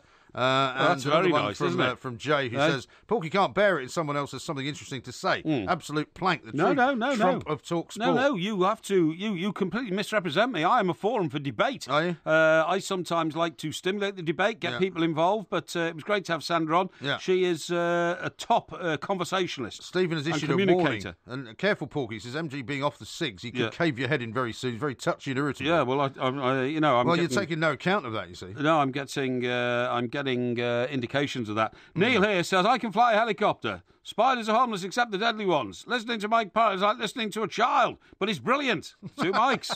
Very now good. We've got another message here uh, from our old friend Richard. Oh, Richard, Um, yeah. uh, Richard and Christine up in Manchester. Oh, right? they're two of our Uh, biggest who've been to see us a Yeah. few times, and we've seen uh, we saw them in Edinburgh, I think, last. Uh, or have we seen them since then? I can't remember. Uh, we saw them in Edinburgh. Were they in. Glasgow? I don't think so. I think no. they were in Glasgow. They Were were in? Liverpool, but I think we missed them. Anyway, Right, uh, I've yeah. got a message from Richard because he's got a couple of friends uh, Right. who are apparently big uh, fans of our show. Right, good. Um, and one of them is Irish, so given that it's St Patrick's Day, Yes. which we didn't get back to actually. Ian, o- Ian O'Hagan and his beautiful wife Shirley, who are apparently listening to the show, Mm-hmm. Right. Uh, I think we're brilliant, and uh, he says he would like us to say hello to them. Okay. So we're saying hello to them. Hello. Yeah. What are the names again? Uh, their names are Ian and uh, Shirley. Ian and Shirley. Shirley, some uh, mistake. We uh, very much appreciate you uh, being uh, tuned in when we're on the airwaves, and uh, have a great day. Yeah. Uh. Mick says this. Ask Porky about the time he took a Formula One car around the streets of Monaco. Uh, I didn't. You didn't do No, that? no, I've never done that. No, That no. sounds like something you might have done. No, I've never claimed to. We were once in Monaco for that famous Chelsea game where Ranieri became the Tinkerman. You know, he, he changed the team I around seem in to the remember uh, the semi final of the Champions League. And uh, sorry, I was going to say the last great Monaco story was uh, the last Monaco Grand Prix when uh, Mr. Brazil went down there and, and didn't manage to miss the race, even Yeah, though he was on a boat which Yeah. was literally ten yards. From the From- corner, from the- from one of the corners. from the most active corner. Yeah. he didn't know it started. No, he didn't. know. he was uh, otherwise engaged Hmm. in a in a cl- an enclosed area. Um, you know, uh, communicating with people, obviously over a couple of drinks, probably. Absolutely. uh, which is his want. Well, Um, that's why they invite him there. yeah, exactly. I mean, they don't invite him there to give him a commentary on No, the they race, don't. do they? No, they invite him there to uh, entertain, uh, you know, his natural entertainment factor with other people. Um, what I was going to say was, we were there for the game, and they were setting up the. They were turning Monaco into the Grand Prix track, if you see what I mean. Yes. And and and it's it's absolutely fascinating because they have to resurface a lot of the roads for I obvious they would, reasons. yeah, You know, yeah. Uh, when you think about it, you think about the, the speed at which a, a Grand Prix car goes. It could hit a pebble and it would dislodge a wheel or something. Right. like that. So it's incredible the They care must they actually take. spend an awful lot of time just because they must resurface it before the race, Yeah, and then resurface it again afterwards. I'm not sure if they resurface it afterwards, but what they do is when they resurface a bit at a time, but then they have to keep the traffic off it to make sure it doesn't get you know uh, altered in any way or or damaged again. But it's uh, it- it's it's an incredible place, Monaco. But I wouldn't want to live there because it's you know a lot of these racing drivers live there, and a lot of top stars live Well, there. a lot of people live there because of the rather favourable tax regime. Uh, They certainly do, but my God, to talk about you know being uh, enclosed in a village, I mean you know the wealthiest village in Yeah, the world. But right. I mean at every turn you are, what's the word I'm looking for? Well. It, the, the small streets with huge blocks of uh, buildings Mm. Right. And ancient buildings and all that. I mean, it, it is literally like living in a toy town. And it's most, uh, mostly, mostly very difficult to find a parking spot. Because I remember going there once um, with Yeah. when we were on a sort of little we, were- a trip down I there. can actually, imagine somebody's that. Mm. birthday. We, we drove in, and one of the roads was closed. As you know, you come in from I think we we're coming in from from the west, Nice so coming in from Nice Yeah, side. yeah. Uh, and actually, it was a it was a. Um, a little medieval village because somebody was having a 25th Yeah. wedding anniversary down there. In fact, Sir Nicholas Lloyd was in attendance. Okay. Uh, St. Paul de Vence, I think is the name of the village. Yes. But we decided to take a little trip into Monaco. Yeah. And they'd shut the, one of the roads, which meant that mm. there was this massive tailback. Yeah. And of course, I'd very blithely said to the other half, mm. "Oh, it'll be great. We'll just pop there for lunch." Right. It took about four hours. Oh, yeah, To get there. well, you- and then we got there. Yeah. And you know. As you know, apart from where you can see mm. the front, you can't park anywhere near the front. Mm. No, you can't, there's no no. room. No, no. And we had to park somewhere around the back of some hotel. I mean, it was. Well- it's not the easiest place to visit. No, it's not. But if you imagine how valuable that area of land is, I mean, how could you possibly give it up to parking Yeah, when right. some developer will come along and say, I'll put another 16, $5 million flats on that, uh, you know, apartments on that uh, uh, bit of land. So I, can, I can perfectly understand that. Andy in the Peaks is now saying, um, have we got any stories from Porky taking the lunar module back in 1969 Yeah. with Neil Armstrong, or Yeah. letting him take the plaudits? Well, I mean, you know, It's starting to get a bit out of hand now. This. people are getting uh, a bit, uh, you know, a bit overwhelmed by all this Uh. Nico says uh, on my picture of Etna, that's a very nice picture actually, MG. Should use it as a profile picture. Yes. Uh, by the way, Porky's just green with envy and a plank.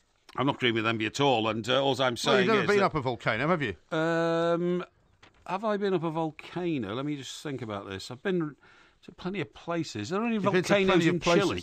In In Chile? Any volcanoes? Well, there in might be. Chile? I don't know. You're the one that's that's been the there. Andes, isn't it? It is the Andes. The Andes. yeah. So there's probably some. I mean, there are certainly volcanoes in South America. yeah, there's probably some volcanoes there. Uh, maybe, maybe you can in say Turkey. no. You can say no. It's not a in problem if you haven't managed to be up a volcano. What's the most famous volcano in history? In history, well, you can Mount St Helens probably for blowing up, but that's No, in Washington no, State. No, no, no. Think Uh, more laterally. There Think is laterally. well, Etna's very famous. Etna's famous, but there's a more famous Vesuvius. one. There's a more famous one. Vesuvius is quite famous. No, it's not. No, most Well- famous volcano. Well, if you're asking me a question that you already know the answer to, why don't you just tell me?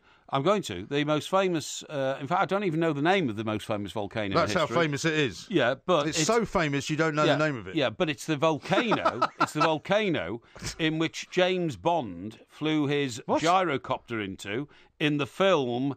You uh, only live You twice. complete plate. Was it? you- No, no. You only live twice. I don't know. No, is it only live twice or? I don't know.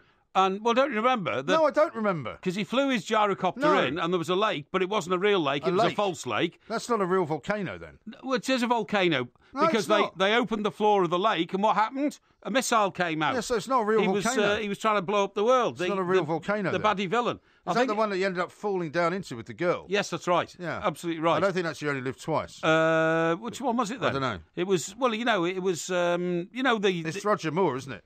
No, it's Sean Connery because Oh, is the, the famous Isn't uh, it Doctor No then? No, no, no. That was uh, filmed in the Caribbean. This was in Japan. Uh-huh. So it was in Japan. It was. It was. Okay.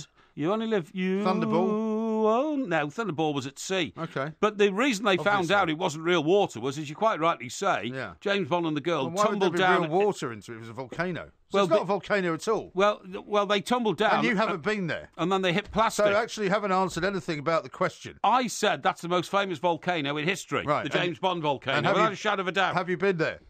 No, but I don't want to go there. This is Talk Sport.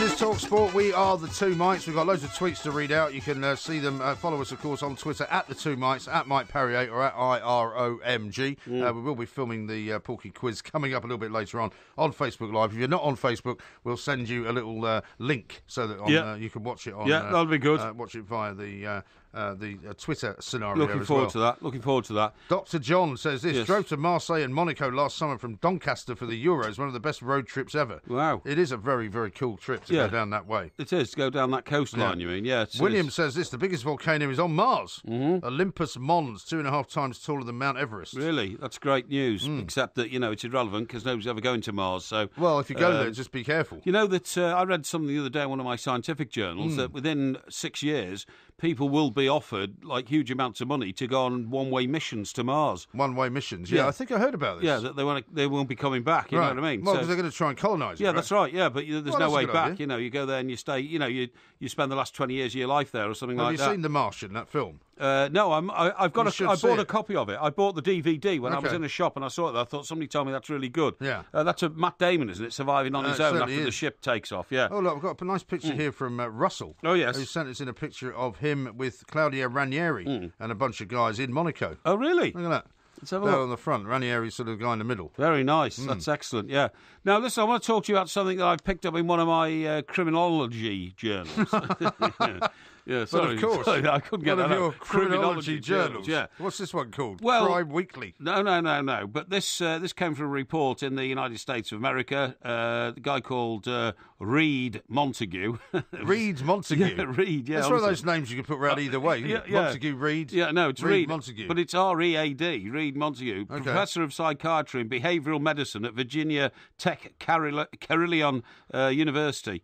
Um, now, uh, he, uh, you know, it's a very, very detailed survey and uh, research that they've been going into. Okay, Right. But one of the conclusions that I'm drawing from it, right, and I'm not putting words This in the is- mouth of the independent- professor. You're independently drawing this. Yeah, yeah. to do with Read Montague. No, no, that's not. But I'm, I'm reading and trying to interpret his research and all this kind of stuff. You know, like for instance, 200 years ago, you could go to jail because you were a debtor, Yes. right? Debtor's prison, they used to call it. Debtor's prison. Yeah. So 200 years ago. Was it not? Uh, there was a name for the street because my old man used to talk about this. Yeah, yeah. Uh, what was the name? It was like you'll end up Carey in Street, uh, Carey? Street. That Carey it, yeah. Street, that's right, yeah. That's where you went to be back. That's where the debtor's jail was. And you Yeah. ended up there. So that was so that was a crime. Okay. Yeah. And now, 200 years on, more enlightened society, we realise well, it actually isn't the debtor's fault. You see what I mean? Now, what I think's going Well, that's not always true, though, is it? Well, uh, what I'm sa- what I'm saying is, it's it's it's uh, the debtor did not intend criminal intent. It was just that he wasn't a very good businessman or something like that. Yeah. You know what I mean? Mm, But you see, I'm, see, I'm, I'm, I've always I used to have interesting conversations about this with um, um, uh, Keith Arthur, Right. Who used to come in to do Fisherman's Blues. Yes, he was very right, yeah. hard line about this. He was like, you know, why should? And he used to get upset with these debt reconstruction That's right, companies where yeah. Mm. they'd say, look, we will buy all the debt and then we'll pay off your creditors at a pound, a penny in the pound, Mm. or whatever it is. He said, well, that's not really fair, is it? Because you lend somebody money, Yeah. you should get it back. Of course, you should. Yeah, you shouldn't get a penny in a pound back. It depends whether you're taking risks, and that's the way the financial world works. Mm. But anyway, look, if you take it on 200 years, uh, my interpretation of uh, of what some criminologists, criminologists are doing and the way that they're taking their research is that actually nobody will be a criminal in 200 years' time. How do you mean? It will not be your fault. It will be the way your brain is wired. What you mean? There'll be so much sort of um, lily-livered liberalness going on that basically everyone will not be blamed for any of their own actions. Well, you and I might say that, but other Mm-hmm. people might say, no, this is a perfectly acceptable uh, interpretation of the way the human body works. So what I'm saying is,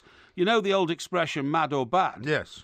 Uh, it's going to be that people were just born bad and it wasn't their fault. Oh, I see. So, I mean, genetically, you're a criminal. Exactly. Right. That's what I'm saying. But so, how will they determine that? Well, this- this is the whole be- point. It won't just be hereditary, will it? No, this is the whole point. At the moment, genetically, you can uh, inherit uh, like cancer or something like that, Yeah. right? Now, they, in But 200 years' not, time. But, but not everyone who gets cancer has it genetically. No, no, they, they don't. I agree. But what I'm saying is, you can be born with a medical complaint which is not your fault. Yeah. In 200 years' time, badness will be something you're born with and it's not your fault. I see. You see what I mean? But then, presumably, if you take it down that road, you Yeah. then must treat that in a way so that you can try to uh, outlaw that genetic uh, development. for abso- example, absolutely. For example, you would take the view that uh, by looking at the chromosomes of the parents, Yeah. that actually certain children shouldn't be born. It's a very dangerous road to go It's down. It's a very dangerous road to go down. And by the way, you can't al- always see it coming. Hmm. What I'm saying is there are parts of the brain which have never been discovered, right? yeah, We- particularly parts of your brain. uh, uh, parts of everybody's brain. Only about five or ten percent of the brain, even to senior brain people like you know brain surgeons and Yeah. neurologists, actually know what's going on in the Yeah, brain. well, they still. I mean, they were still recently. I think I saw this Yeah. Mm. on TV. They're, they're trying to uh, slice the brain now in a, um, and obviously not a live brain. Yeah, but yeah. Slice it very, very thinly. That's right. Yeah, so they can out. The That's right. membrane of That's it. right. Now, what I'm saying is there could be one area Why are of we the talking brain. about this, by the way? Well, because this is from one of my very criminology. advanced, uh, yeah. I mean, this is like sort of advanced Yeah. criminology. you're Yeah, talking that's about. right. It is advanced criminology. Yeah. It's the kind Absolutely of thing they right. study in the FBI uh, Yeah, yeah. uh, School of Behaviour. Well, it's just something that I study, man. It's something that I study, you know. Yeah. And and what I'm saying Clarice. is, what I'm saying is, it is perfectly possible that in 200 years' time there won't be any criminals because it wasn't their Well- fault; it was their brain. yeah, but they'll still be criminals. You know, pardon me for being rude. It was not me. It was my food. That's Yeah, when you that- burp. that's right? not a crime, Well, actually, that's not a the way. crime. But what I'm saying is, in future, it might be.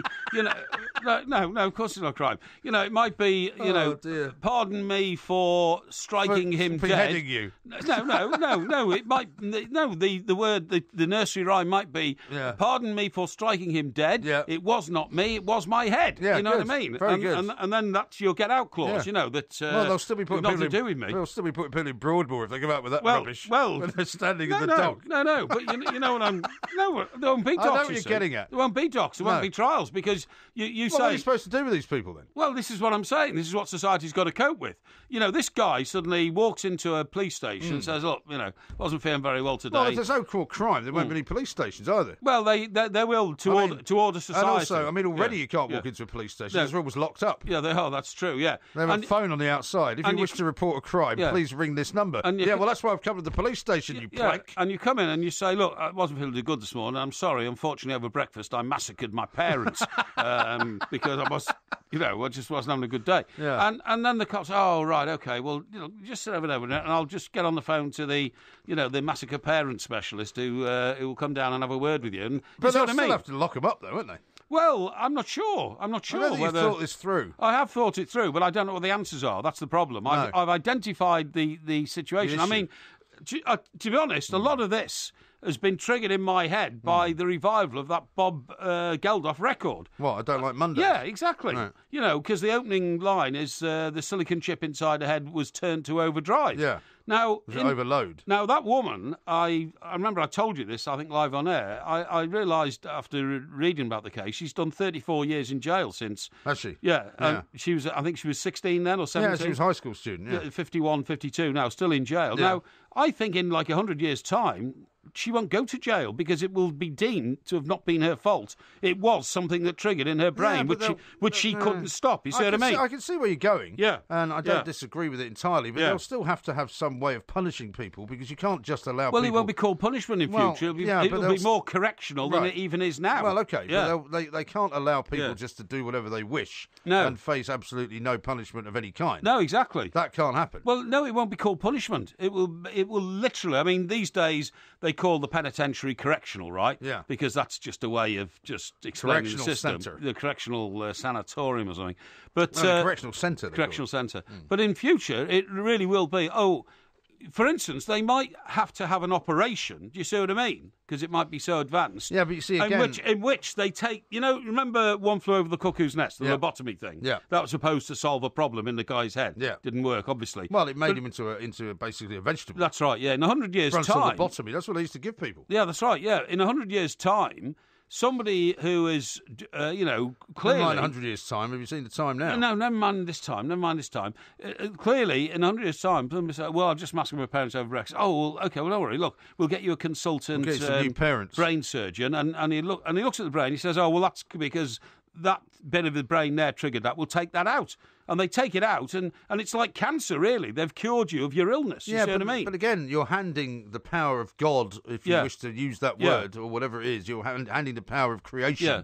to uh, a bunch of scientists, stroke lawmakers, Yeah. who you may not wish to give that right to. But I think it'll come to that because it's a lot cheaper and easier than locking somebody up for the rest of their life uh, in a in a very expensive prison. Hmm. There's no need for it if you can remove the the element that.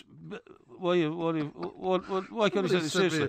sent me a picture of Yeah. Mm, Porky's dinner party, which is from uh, one of the Lecter movies, where the guy's got half his head cut off. Oh dear me, I hate that. That's not nice, is it at all? Now let's uh, Yes. have something slightly cheerier here now. Okay. This is from Rachel, who Okay. says it's my birthday today and I'm in work. Would love a shout out to take my boss by surprise. And where is this lady? uh, I don't know where she's Geographic working. clue. She's working Um, now. She's, probably on the other side of the world. According to Twitter, she's from Glossop, or she's in Glossop. Oh, well, maybe she's working on a late uh, overnight shift or something. And the lady's name is? Uh, her name is Rachel. and it's her birthday, is it? It's her birthday, apparently. Right. Happy birthday don't to to you. Happy birthday to you.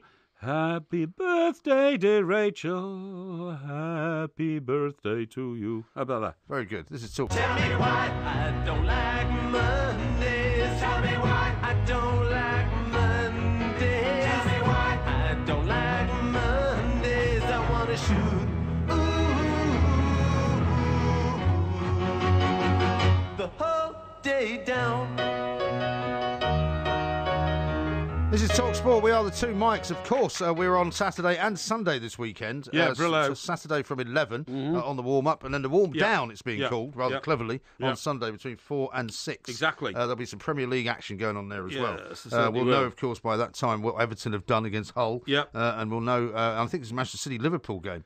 Uh, if I'm not mistaken, Manchester, on uh, uh, Sunday afternoon. Yeah, I think you're right. Uh, now, here's one from Mitchell. He says, Hey, MG, any news on a date for the New York show? Heard you mentioned September, Mm-hmm. but no specific date. No, we're still working on that. Uh, we may have something for you Yeah, uh, in the next couple of weeks. negotiations, I have But, to say. yeah, not easy to set up a, no. a show's 3,000 miles away, so uh, so we shall see. We do these things not because they are easy, but because they are hard. Who was that? Um, was it not something to do with Kennedy? It was John F. Kennedy. John F. Kennedy, on it? the It about the moon, moon, probe. the moon yeah, probe, yeah, yeah. yeah, yeah, that's right. Yeah, Yeah, and the Peak says, "How about Krakatoa? Mm-hmm. Uh, just your average volcanic rock. You stick to impressing your chums by taking them up the Oxo Tower, Porky. I don't know whether he's talking about you or me. You don't really go What's to the this? Oxo Tower. You, You've only been to the Tower about three times in your life, haven't you? No, I've been there a few more times than that. Oh, I mean? I mean, it used to be your sort of lunchtime drinking emporium, It didn't was it, when you were at the Yeah. Express? They used to do a great wine there, right? Called Yeah. Mad Fish. Mad Fish. Which was an Australian, I think it was a Chardonnay. Yes. And it wasn't available in many places, and it was brilliant. And It was about 55 quid a bottle in there. how Uh, much? About 55. Um, and we, myself and a colleague, used Yeah. to know that if we'd, if we'd breached the 3rd bottle and gone into the fourth bottle, yeah. Then uh, we knew that that was probably overdoing it. Fourth bottle at lunchtime. Yeah. What you and one colleague? Yeah. That's disgraceful. Why? That is so unprofessional. I have to say. Eh? Unprofessional. What do you mean job did you have in those days? Uh, I think I was the uh, foreign editor. So you would go back then and start ringing people around the world and demanding great stories Yeah. about things Paper that weren't sold happening. a lot more copies then than it did now. Yeah, well, uh, every newspaper I've left has always declined massively after I've gone. No, it's always declined what I have to massively while you were there. No, Now no. I've got before we do the Porky quiz, right? Yes. Uh, I've got another little uh, mini quiz for you, which Oh, is not really a quiz as such, but the headline on what I'm looking at says, "How nice are you?" Yes. Remember we talked about this the other day? Um, I think it might Uh, have been when we were on yes, Sky. I do, actually, yes. That most people are actually not as nice as they think they are. They Oh, think excuse they're me. Can I can I really are. can I just show you? By the way, these are real pictures of people in terror on this slopes Yeah, I of know. I was okay, talking about that earlier. all published in the papers tomorrow morning. I never said I was in terror. I No, just co- said it was an interesting picture to put out because it was timely, given what is currently Yeah. going on. I mean, I've been talking. I saw those that, that newspaper piece about an hour ago. Yes. But I You've only saw these pictures it. on the BBC. Tourist run as the eruption Yeah, there's a begins. video. One woman's thrown to the ground by the shocks. Yeah. A man wipes away blood as tourists escape in a bus. I mean, these are the people who are terrified.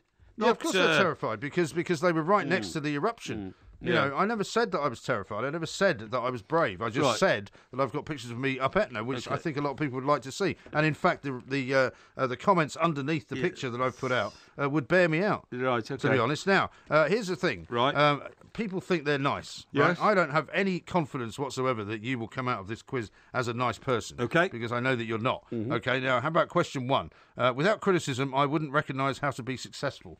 Do you agree with that? Disagree with it? Um, Strongly agree? I- Strongly disagree? I agree with that. You strongly agree? Strongly agree. So you like criticism, do you? Yes, I find it uh, constructive. You've never, you, every time anybody's ever criticised you, you, you abuse them. No, no, not at all. If somebody sends in, all right, well, I'll tell you what, let's get some people to criticise you on Twitter and see how you react. Okay. All right. Yes. Question number two. Nothing great was ever achieved by staying in your comfort zone. Do you agree or disagree? Totally agree. Strongly agree. Strongly agree. All right. Strongly agree. Because you got six points. Yeah. Uh, however strongly I feel about a situation, I will rein in my opinions if I feel it might cause distress to others. Uh, no, I strongly disagree. Yeah, strongly disagree. Yeah, yeah, okay. yeah, All right. Uh, a little Not self- because I want to hurt other people, but because you need to know the truth. yeah, a little self-deprecation goes a long way. A little Self-deprecation. Self-deprecation. I know you don't even know what that means. Yeah, I strongly agree with that. you? Do not. I do, and I practice when it. was I the last strongly time agree. that you uh, self-deprecated? I strongly agree. Uh, every negative has a positive. You just have to see an alternative perspective. I strongly agree. Okay. Strongly agree. See, again, you're giving out different answers Hmm. to the ones that are actually the truth. I trust my initial. You are really uh, actually a classic psychopath. Don't be ridiculous. You are because you know how to get around these quizzes no. to get the right score. No, no, no, no. That's how clever you are. no, no, no. Come on. It's You- quite. it- Inf- in, it's I'm quite entitled to answer any way I want, so just get on with it. I okay? trust my initial instincts and judge situations based on them. I strongly agree. Okay. Hmm. uh, there is no reason to lose your sense of humour. I can laugh in almost every situation. I agree. Just agree. Yes. Okay. Let's see. There is no reason to lose your sense of humour. Oh, sorry, I've just done that one. Yes. Sorry. You're right. Uh, letting You're right. go of mistakes is important. I strongly agree. You strongly agree with that? Strongly agree. Okay, well, you made plenty of them. Uh, all conflict could benefit from being dealt with in the here and now, not putting it off until a later date. I strongly agree. Okay, Yes. this is great. Yes. Uh, if I see someone in trouble, I'll go to help them, even if others just seem to be onlookers. I strongly agree. What about the guy who had the flat tyre? No, I strongly And agree. you said you had to go somewhere because you didn't want to help him. I- I- well, I- I'm sorry, I'm not accepting that as an answer. No, I, you have to accept. There, there No, were particular you left that- you circumstances. left that guy. There were particular him. circumstances. No, I wanted to help, but and I had to No, postpone my help. I can't. I let strongly you have, agree. I can't let you have strongly agree. You cannot. I'll give uh, you agree. You can no, no. You cannot censor my answers. Yeah, but your answers I have to be truthful. I strongly truthful. agree. You have to be truthful. Okay. Uh, I often shed a tear if something moves me on TV or in a film, both from sadness and or joy. you've never cried. I agree. I agree. No, you said you've never you've never cried. I agree. You've said you've never cried. This is this is this is me revealing some of my private life. I agree. well, you told me you never you never. So which is it? Have you cried or not? I agree. You agree with what? I agree with the question, please. no, no, because you've It's always said no. I can't accept that. You've always said that you don't you don't cry. You've never cried. Uh, look, don't I'm try and get around. you, the, don't try agree. and get around the study. I'm not getting around the study. Okay. Okay. Question number 12. When I get angry, I think it's better to show it rather than keep it to myself. Uh, I don't necessarily agree with that. Well, you have to agree or disagree. I disagree. You disagree. Yes. Okay. Mm-hmm. Uh, I find it as easy to list my strengths as I do my weaknesses. Uh, I strongly agree. What What are your weaknesses? I don't have many. You don't have I- any? Uh, uh, no, I that said, I, said. I said I don't have many. Right. Do not twist my words. I strongly agree. I am an open book. I am an yeah, I, yeah. I'm an open book. You're not. I am. Rubbish. Of course I am. There's nobody more open than me. I How strongly agree. I'm in. I'm approach. I am in early middle age, and that's all one needs to know. What shirt size are you? X. I Yeah. keep telling you. Well, I I'm strongly not- agree. Well, I'm not allowing you to agree with that. Strongly disagree. Uh, when socialising, I prefer to be one on one rather than in groups. I strongly agree. You prefer to be one, actually, don't No, you? no, yeah. Well, I strongly agree. I'm I mean, very groups, specific in groups my- can be boring and I'm- loathsome. I am very specific in my emotional vocabulary. I can easily describe just how I am feeling. I strongly agree. That's rubbish. No, I'm a communicator, and How I'm good at feeling it. now? I'm a top communicator. How I strongly feeling? agree. How are you feeling now? I'm feeling good. Are you? Yes, Uh, I don't get offended easily. I strongly agree. I strongly agree. You spend half your life being offended. No, I don't. Being flawed is more attractive than being perfect. I disagree. Yeah, I think you would. Yes. As you think people should be. Hmm. I'm in charge of my own happiness. I strongly agree. Really? Yes, strongly agree. You're happy at the moment. Yes, I'm happy. All right. Yes. Okay. Saying no to others and myself can be empowering. Eh? Saying no to others. Can- Yeah, I strongly myself agree. I strongly agree. I strongly agree. Strongly agree. So you do say no to people. Yeah. Do you say no to people? Yes, I strongly agree. Okay. All right. Well, that's the end of the survey. Right, okay. I'll give you a score a little yeah, while later yeah, on. and then you'll interpret the score. I hope. Well, yeah, because it will give you. Yes, It's, it's down yes. here. It says, depending on what number you have, it Yes. will tell you how nice you are. Yeah, good, good. so good. I'll add it all up and I'll tell you later. Good, good, Because we haven't got a lot of time now. Yeah, yeah, yeah, Because yeah. we've yeah, now got to do the Porky quiz in a little while. Right. Um, Um, are you ready for it? I'm ready for it, indeed. Yeah. Listen, we're going to play uh, one disc before the end of the show. Okay. One disc. Yeah, and and it's amazing. Do you know what it's going to be? It's going to be and darling, you look beautiful tonight. Do you mean uh, Wonderful Tonight? Wonderful tonight. And By darling, Eric Clapton. tonight. Eric Clapton. Okay. And do you know why we're going to play that? Because I look wonderful? No, no, not because you look. No, you don't look wonderful. You look ghastly and gross as usual. uh, it is. Be, it is because Why? uh, today is the seventy-third birthday of Pattie Boyd. Okay. And Pattie Boyd, of course, was the ex-wife of both George Harrison Yes. and Eric Clapton. Yes. The inspiration between the Clapton songs Layla Mm. and Wonderful Tonight, and probably the inspiration between George Harrison Something. Yeah, well, I mean, she believes that, and she's been uh, Yeah. told that, that Yeah. she is, and she's said that many times. But Yeah. I've got my doubts, to be honest. But it's a great Yeah. song, so I don't mind hearing it. Yeah, absolutely. Coming up, it's the Porky Quiz. Yes.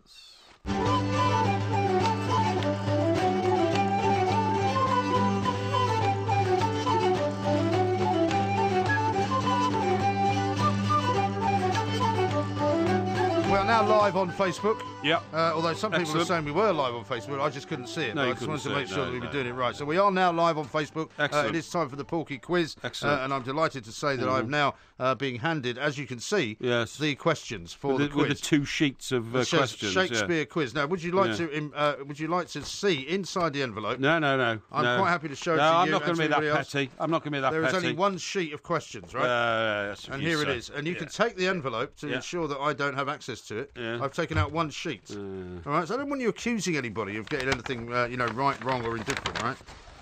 Hmm.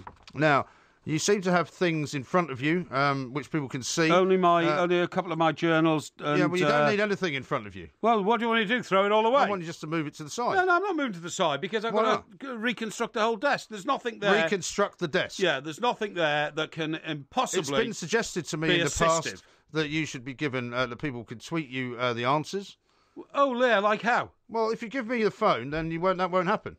Well, okay, I will put my phone over here so you can see it. I'm Okay. not giving it to you. It's over there Why don't you want to give it to me? because you might Because interfere I with might it. see the signs, uh, the, the, No. the things coming up. No, no, no, no. You might uh, gerrymander my phone. You might interfere with it. You might uh, uh, I've got no interest in gerrymandering you your might phone. divulge information Okay. from it. All right. Right, go on. Are you ready for question number one? Now, the new rules are as Yes, follows, okay? yes, yes. Uh, you are going to be asked a question. Yeah. I will then give you three choices, and the Yeah. answer will either be A, B, or C. Right. And that will be the question that I will then ask you. Okay.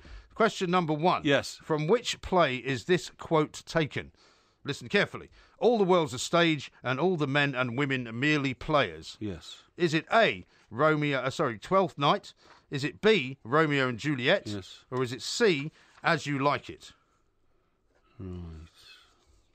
What were the first two? Pardon? Oh, sorry, do you know what I didn't do? What? Uh, if it's right, uh, you will hear this sound. Right. He is sure possessed, madam. Uh, and if it's wrong, you will hear this sound. I am as mad as he. Right. That's okay. good though, isn't it? What were the uh, What were the Do you first want- two? Do you want them again? Uh, A is Twelfth Night. Yes. B, Romeo and Juliet. Right. Uh, the answer to that one is Romeo and Juliet. Uh, incorrect. No. I am as mad as he. It is, in fact, As You Like It. As you like it. Question number two. This is another quote. Right. Uh, some are born great, Yeah. Mm. some achieve greatness, mm. and some have greatness thrust upon them. Right. Uh, is it answer A, Macbeth? Is it answer B, Twelfth Night? Mm. Yeah. Or is it answer C, Richard III? Richard III. Right, okay. Now then, thinking aloud here, thinking aloud. Definitely not Macbeth. I'm a student of Macbeth. I know every line of every. Um, uh, really? Uh, what do you call it uh, when a play's done? It's not chapters, is it? It's Acts. I know every line of every act. Yeah. Uh, which leaves it to be. What was the second one? Uh, the second one was Twelfth Night, Twelfth Night. and the third one was Richard III. And this sounds to me like uh, you know Richard III. Of course, that was a uh, that was a, all about a brutal battle and that kind of stuff. Twelfth Night was a bit of a sort of dipso um, sort of comedy. So I'm going for Richard III. Incorrect. No. I am as mad as he. You should have gone for Twelfth Night. Twelfth Night. Question number three. Right. King Lear battles his madness watched by his three daughters. Yes. Who is the eldest? Uh, is it A, Regan? Yeah. Is it B, Goneril? Yeah. Or is it C, Cordelia? Uh, right. Thinking aloud here. It's a very unfortunate name for a lady, isn't it, to be called gonorrhea? It's not gonorrhea. It was. it's gonorrhea. No, It's not oh, gonorrhea. Really? Oh, It's okay. Cordelia. Uh, or yeah, yeah, Oh, yeah, yeah, yeah, so uh, they've got three daughters. One of them's right. called gonorrhea. yeah, yeah. The yeah. other one's syphilis. Yeah, yeah. No, no, no, don't be silly. Don't be And the silly. other Come on. one's- Come on, it's a family show. Okay. Right. Uh, okay, so now, uh, you see, I'm a, I'm a bit of a student of King Lear. Oh, yeah. Because, uh, you know, uh, when he's uh, cast out uh, onto the uh, heath, you know, uh, in the wilds, Yeah, yeah. and he's uh, one of his famous lines is uh, "Blow, blow, thy evil winds, crack thy cheeks." You know, Is it? Yeah. Okay. Yeah, yeah. Well, that doesn't get And you any extra points. And then his his daughters come after him to try and rescue him, but I think by that time, hasn't somebody taken his eyes out or something with a rope? well, you're the expert. Yeah. Uh, I would say the answer to that one is, without a shadow of a doubt, Cordelia. Cordelia is not, in fact, the No. oldest. Uh, I is am incorrect. as mad as he. You should have gone with uh, goneril. Goneril. All right, here's another quote for you. All Okay. that glisters is not gold. Yes. Is a quote from the Merchant of Venice. Yes, that's right. Who says it? Who says it? Yes. Well, you've got to give me a choice of three. Oh, yeah, I've got to do that. Yeah, haven't I? yeah, thank All right, you. question uh, is A is Portia, Portia. B, uh, the Prince of Morocco, Yeah. and C, Shylock.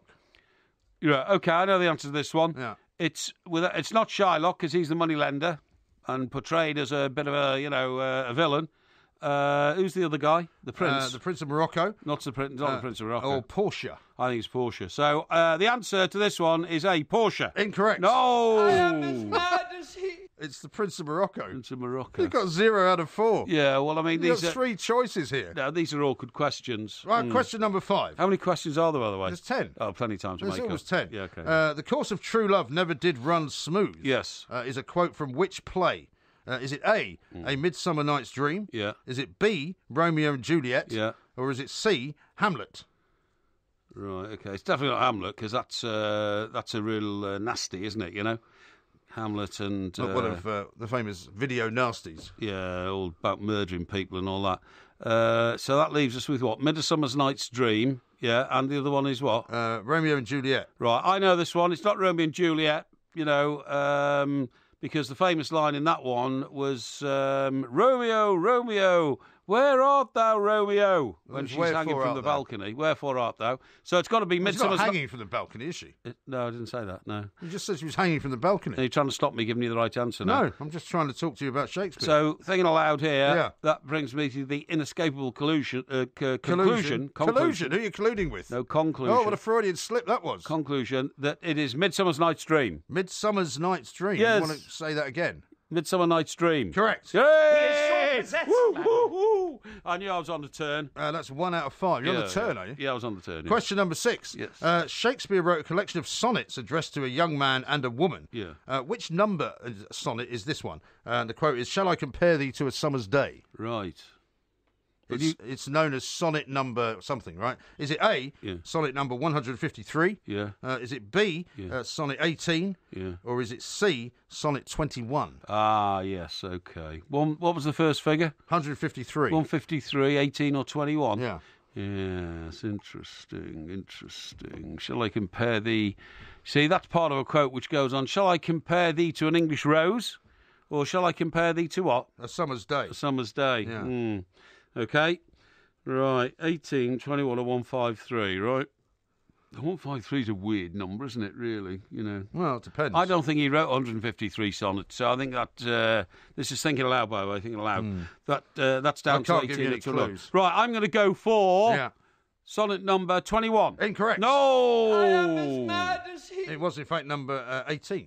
I was going to go for 18. I should have gone 18, shouldn't Uh, I? and he did write 18. more than um, 153 sonnets. Yeah, it was close. That was very close. That I should get half a point for that, really. Uh, now here's another quote. Why do you yeah. get? Why do you get half a point? This is you get three choices here, yeah, right? you don't get half a point for anything. No, second though, wasn't Um, this is very midsummer madness. Okay. is the quote. Uh, from which play does it come? Henry IV, A, B, The Tempest, or C, Twelfth Night? What's the quote again? This is very midsummer madness. Twelfth night. Now that's about Christmas, so that could be mid- that can't be with some madness. Think it aloud. Think it aloud. Tempest could be the tempest. Could be could be talking about you know the fact that the sea is a bit tempest, tempestuous because it's midsummer. Tempestuous. And uh, what's the other one? The other one? Uh, the other one was Henry IV. Henry the Fourth. Yeah. I'm going for. Hmm. Wait for it. The Tempest. Uh, incorrect. No. I am as mad as Uh, it's actually Twelfth Night. so far, you got one out of seven. Well, you know, I don't like the formula of this uh, new quiz because it doesn't give me enough uh, brain thinking time. Mm. Uh, question number 8 Another quote. Mm-hmm. Yes. Uh, I cannot tell what the Dickens his name is. Yes. Uh, is this from A. Timon of Athens, B. The Merry Wives of Windsor, Yeah. or C. Hamlet? What's the quote again? Uh, I cannot tell what the Dickens his name is. The Dickens' name is. Hmm. Right, okay. Now then, uh, it's not from Hamlet because that's the one about all the murder and all that kind of stuff. King of Scotland um, and all that kind of stuff. King of Scotland and all that kind of stuff. Oh, no, sorry, no, that was something to do with Scandinavia, Hamlet, wasn't it? Sorry, think it was Macbeth was, the King of Scotland. Denmark, Yeah, Denmark. Macbeth was right. Scotland, yeah. Yeah. Alas, I can only assume the Merry Wives of Windsor was about Windsor. alas, poor. Yorick, for I knew him well. Yorick. Yorick, I yeah. mean, Yorick. Yorick, yeah. um, Oh, Yorick. Yorick, yeah. I've just met your friend uh, Syphilis. What was the name of that girl? Uh, gonorrhea. Gonorrhea. Yeah. uh, let me just think this one through. Now, what's the what's the three again? Sorry? Okay, uh, Timon of Athens, the Merry Wives of Windsor, Mm. Yeah. or Hamlet? Right. A, B, or C? Okay. Uh, I mean, at this point, you might as well just pick a number. no, no, no. I don't just pick numbers. You've got no I, idea I what you're analyse talking it my about. brain. It is the Merry Wives of Windsor. That is correct. Hooray! That's two out of eight. Thank you. Question number nine. See, that's twenty five percent. That's a pass. Two out of eight. No, where do you get 25% as a pass, Pass. in anything? It's a pass. A pass. It is not a pass It in is, anything. it is, it is. 50% is a Anyway, pass. I can get I can get this up to four. Go on. Okay. Mm, mm. Which of these teams did Craig Shakespeare not play for? Right. Qu- uh, A. Walsall. Yeah. B. Sheffield United. Yeah. C. Hednesford Town. Um, okay. He started his career at Walsall. He only spent a year at Sheffield Wednesday, so I doubt if he played for Sheffield United. And he did play for Hensford, who were non-league. So I'm going to go for Sheffield United. Correct. That Thank is you. that is three out of nine. Thank Can you. you. make it four out of ten? See, that's 33%. That is a definite pass. Three- No, it's not. It is. You don't get a pass for thirty-three It is. percent. It What, in what sort of mad college No, world do you no, live? No, no, no, no, no. Come on, get on with it. Get Now we with know why. Now you I'm on a roll. you've You got see, so trying to slow A's. it down. I'm not trying to slow it down. Yeah. Not at all. Uh, question number ten. Hmm. How many plays did Shakespeare write? How many? Was it how many plays did Shakespeare write? Yes. Was it A, Yeah. 38? 38. Was it B, Yeah. 35? Yeah. Or was it C, 37? Now, does this include things other than plays? Only plays. You sure? I'm sure. Because some pieces that he wrote, it's debatable whether they were plays or sonnets or whatever. Well, you know what I mean? sonnets, uh, the number is 154, as per the earlier question. So clearly, this does not include sonnets. Right, And what's the what's the alternative numbers again, please? 38, 35, or 37. 38, 35, 37. Right. Well, he was very prolific, so that makes me think he wrote a lot of plays, right? But there's not a big difference between 38 and 37. That's the problem. Well, there is a lot of difference in the 38 and 37. And there's not a big difference between 37 and 35. Hmm. See, do you know what? Somebody didn't know the business would go for the median. They'd go for the 37. Thinking aloud, just thinking aloud. How is that the median? Uh, well, it's, it's between 35 and 38 in, Oh, the- see in the answers. You it's not what I mean? technically the median, though, is it? Uh, no, so it's it's the middle closer one. to 38 It's the than middle 35. Uh, you see, I'm thinking almost certainly it's 38, but it could be 37 or 35. I'm going to Well, it plump could be none of for. them, I suppose. I'm going to plump for. Uh, because it's divisible by seven, 35. Incorrect. No! I am as mad as he. It is, in fact, 37. I should have said 37. Yes. But never mind. Yeah. Um, well, know, that's, that's pretty good uh, result like, then. How did you like the new system? Uh, yeah, You average. preferred it to uh, the other well, system? average, average. Well, I'd like to tell you that you've done better in this system, but in fact, you've done just the same. Yeah. Three out of ten. Well, it's pretty good. That just about as useless as ever. So the one thing, the one constant that we have, whether we use Trivial Pursuit, Yeah. whether we use Yeah. the three Yeah. uh, multiple choice question system, or the straight one answer to one question system, three out of ten is what you always get. Okay. This is Talk Sport. Alas, poor Yorick.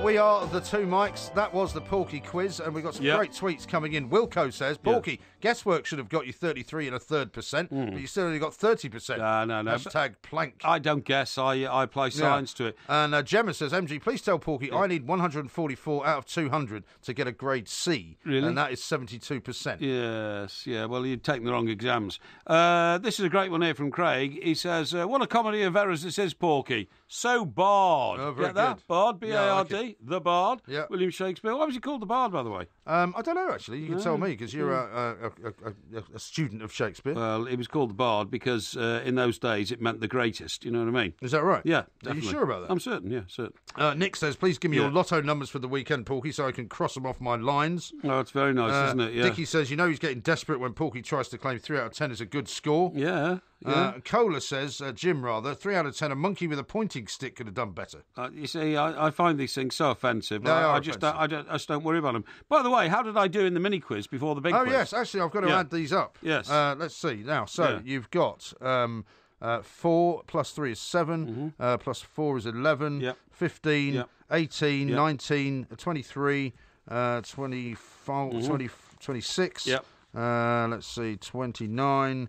Uh, and this is much higher than you should get, probably. Mm-hmm. 32, Um, 36, 30, 40, all the way up to. Oh, you Yep. get. Uh, oh, actually, minus 3. I know, 3.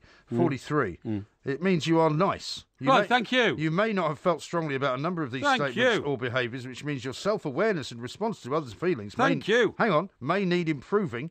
Try to put yourself in someone else's place sometimes to see Mm. So- their perspective. There you go. Uh, remember you're the on time? The, you're on the very no. Hang on. You're on the very very low side of No, nice. no, no. Three fifty Friday, March the three fifty a.m. Thri- uh, Friday, March the seventeenth. Oh. Okay, uh, I am declared officially nice by my um, uh, nemesis, Mister M G Graham. Right? Am I your nemesis? yeah, now? who's had to declare me nice? Who's had Yeah. to declare me nice? It says here, though, um, and I want you to take note of this Mm. uh, your self awareness and response to others' feelings may need improving. Uh, yeah, really? Well, that's what it says. Oh, yeah, you have to put a downer on it. No, that's what it says. Now then, uh, John, who is our the master uh, ta- tactician back there, Master technician, tactician. has just played uh, and Darling You Look Wonderful Tonight. Wonderful tonight, yes. And I explained why we played that, didn't I? you said it was Pattie Boyd's birthday. It's Pattie Boyd's birthday, 73 today. 73? yeah, can you imagine Pattie Blimey. Boyd being 73? Do you know how old she was when she met George Harrison on She the was train? like in her twenties, wasn't she? Uh, no, uh, when she met George Harrison on the train in Hard Day's Night, Yeah. Which is where they first set eyes on each other, and he was absolutely transfixed by her long blonde hair, her slightly protruding teeth, her slim and uh, nymph-like uh, frame. Uh, she was 19 years of age. Is that right? Yeah. I mean, I've watched. I think it's the Martin Scorsese um, uh, uh, documentary. You know, which which. Yeah. I've got. If you Yeah. want to borrow it, by the way, um, On George is- Harrison. On George Harrison, yeah, Yeah, brilliant. Yeah, it's great, isn't it? Yeah, Yeah, it's when Um, he's got his uh, the the cover pictures of him in the swimming pool with his head above the yes, water. Yes, and he's and there's a lot of footage of him in his big garden, right. and his son's talking, and his That's right. wife's talking. Yeah. and It's it's very poignant, actually. is, yeah. because his wife he was he obviously. died. Uh, A very busy man in the in the sort of bedroom area, Yeah, and yeah. his wife is clearly quite upset about all that. Yeah, you know, she right, talks yeah. about it. But but Pattie Boyd appears Mm. as if she was the great inspiration, as a lot of, a lot of these women often do. yes. for all sorts of songs, like you said, for something, Something. Um, for Wonderful Tonight. That's right. Mm. I mean, the way that some of these women talk, you would think that without them, you know, Eric Clapton and George Harrison would never have written anything. No, that's right. Which is always a slight. uh, Who do you think was his inspiration for one of his records, which I was amazed ever got was allowed to be released? Cocaine. What? Well, Cocaine wasn't written by him. It was J.J. Song. Oh, was it? Yeah. Yeah. Well, he sang it a lot, didn't he? At his concerts and things. He did. You know, it became yeah. well. He sang. He it was one of his kind of signature tunes. It was, But yeah. it wasn't. He wasn't actually his composition. Didn't realise that. In the same way that I shot the sheriff was not. I shot the sheriff. Yeah. That was uh, Bob Marley. It was. But I Exactly. never shot the deputy down. Ian says this. Maybe you should try giving Porky the ten answers on a piece of paper, and all he's got to do is match them up to the questions. Oh yeah, they're very good. Yeah, yeah, very That's a funny. good idea. Now you said something earlier. You said you couldn't believe that uh, nobody was making an issue of the fact that uh, Wayne Rooney has been axed from England for the first time. Yes, that's right. Uh, I've just been given tomorrow morning's uh, back page of the Times, the Oh. Thunderer, one of the world's most famous newspapers. Yes. Whose splash on the back says Rooney axed by England for first time. Well, there you are. See, I told you people would start picking it up after they heard me Yeah, saying it. exactly. Uh, And the back page of the Sun says brutal. Yeah. Uh, Wayne Axton no longer Mm, captain. And some people had been writing in earlier to say, "Oh, yo, you got it wrong. He's injured. He's actually Yeah. not injured because he may be available to play for Manchester United." Yes. Uh, Jose Mourinho has said this weekend against Middlesbrough. yes, Who do you think is going to be the new Middlesbrough manager, by the way? I don't know. After Karanka was given his marching orders. I've no idea. It definitely won't be Steve uh, McClaren. Are you sure? Uh, you say in England, like you say in the England? No, it won't be Because I mean, this is another one of those stories that I was quite surprised about. Because Karanka, who is Yeah. a mate of Jose Mourinho's, right, Yeah. Was thought to be doing rather well up at Middlesbrough until quite recently, wasn't he? They had the best um, defensive record in terms of letting Indeed. goals in. Indeed. Um, after Spurs, and they were doing really well, and suddenly they just kind of lost the plot. Absolutely. Two other football issues here to pick up on. Yeah. Uh, even Gareth Southgate had to reveal that Theo wasn't chuffed to bits to get the call. He actually said that No. when dropping Theo Walcott. Uh-huh. Um, he said that he said to him.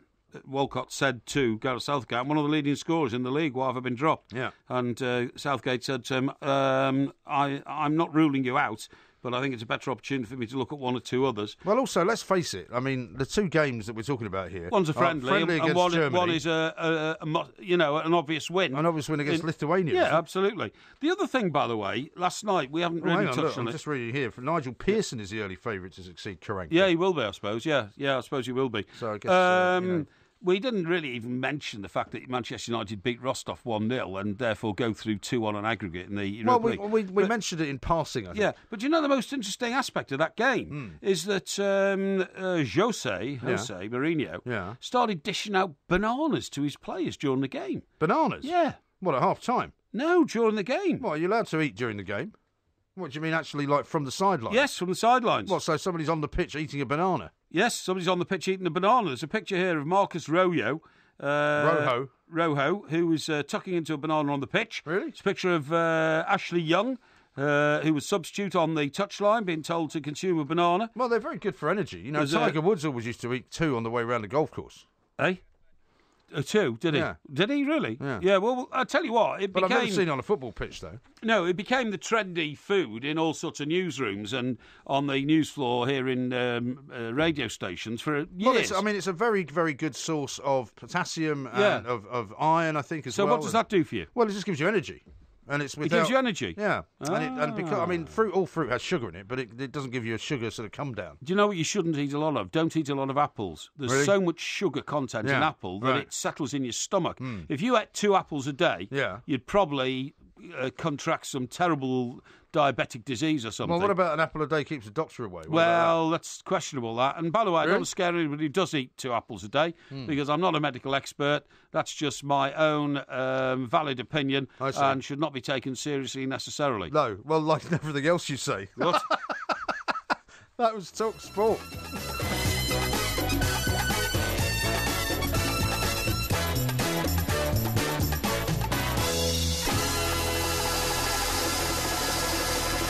King Lear battles his madness watched by his three daughters. Yes. Who is the eldest? Uh, is it A, Regan? Yeah. Is it B, Goneril? Yeah. Or is it C, Cordelia? uh, right, thinking aloud here. It's a very unfortunate name for a lady, isn't it, to be called gonorrhea? It's not gonorrhea.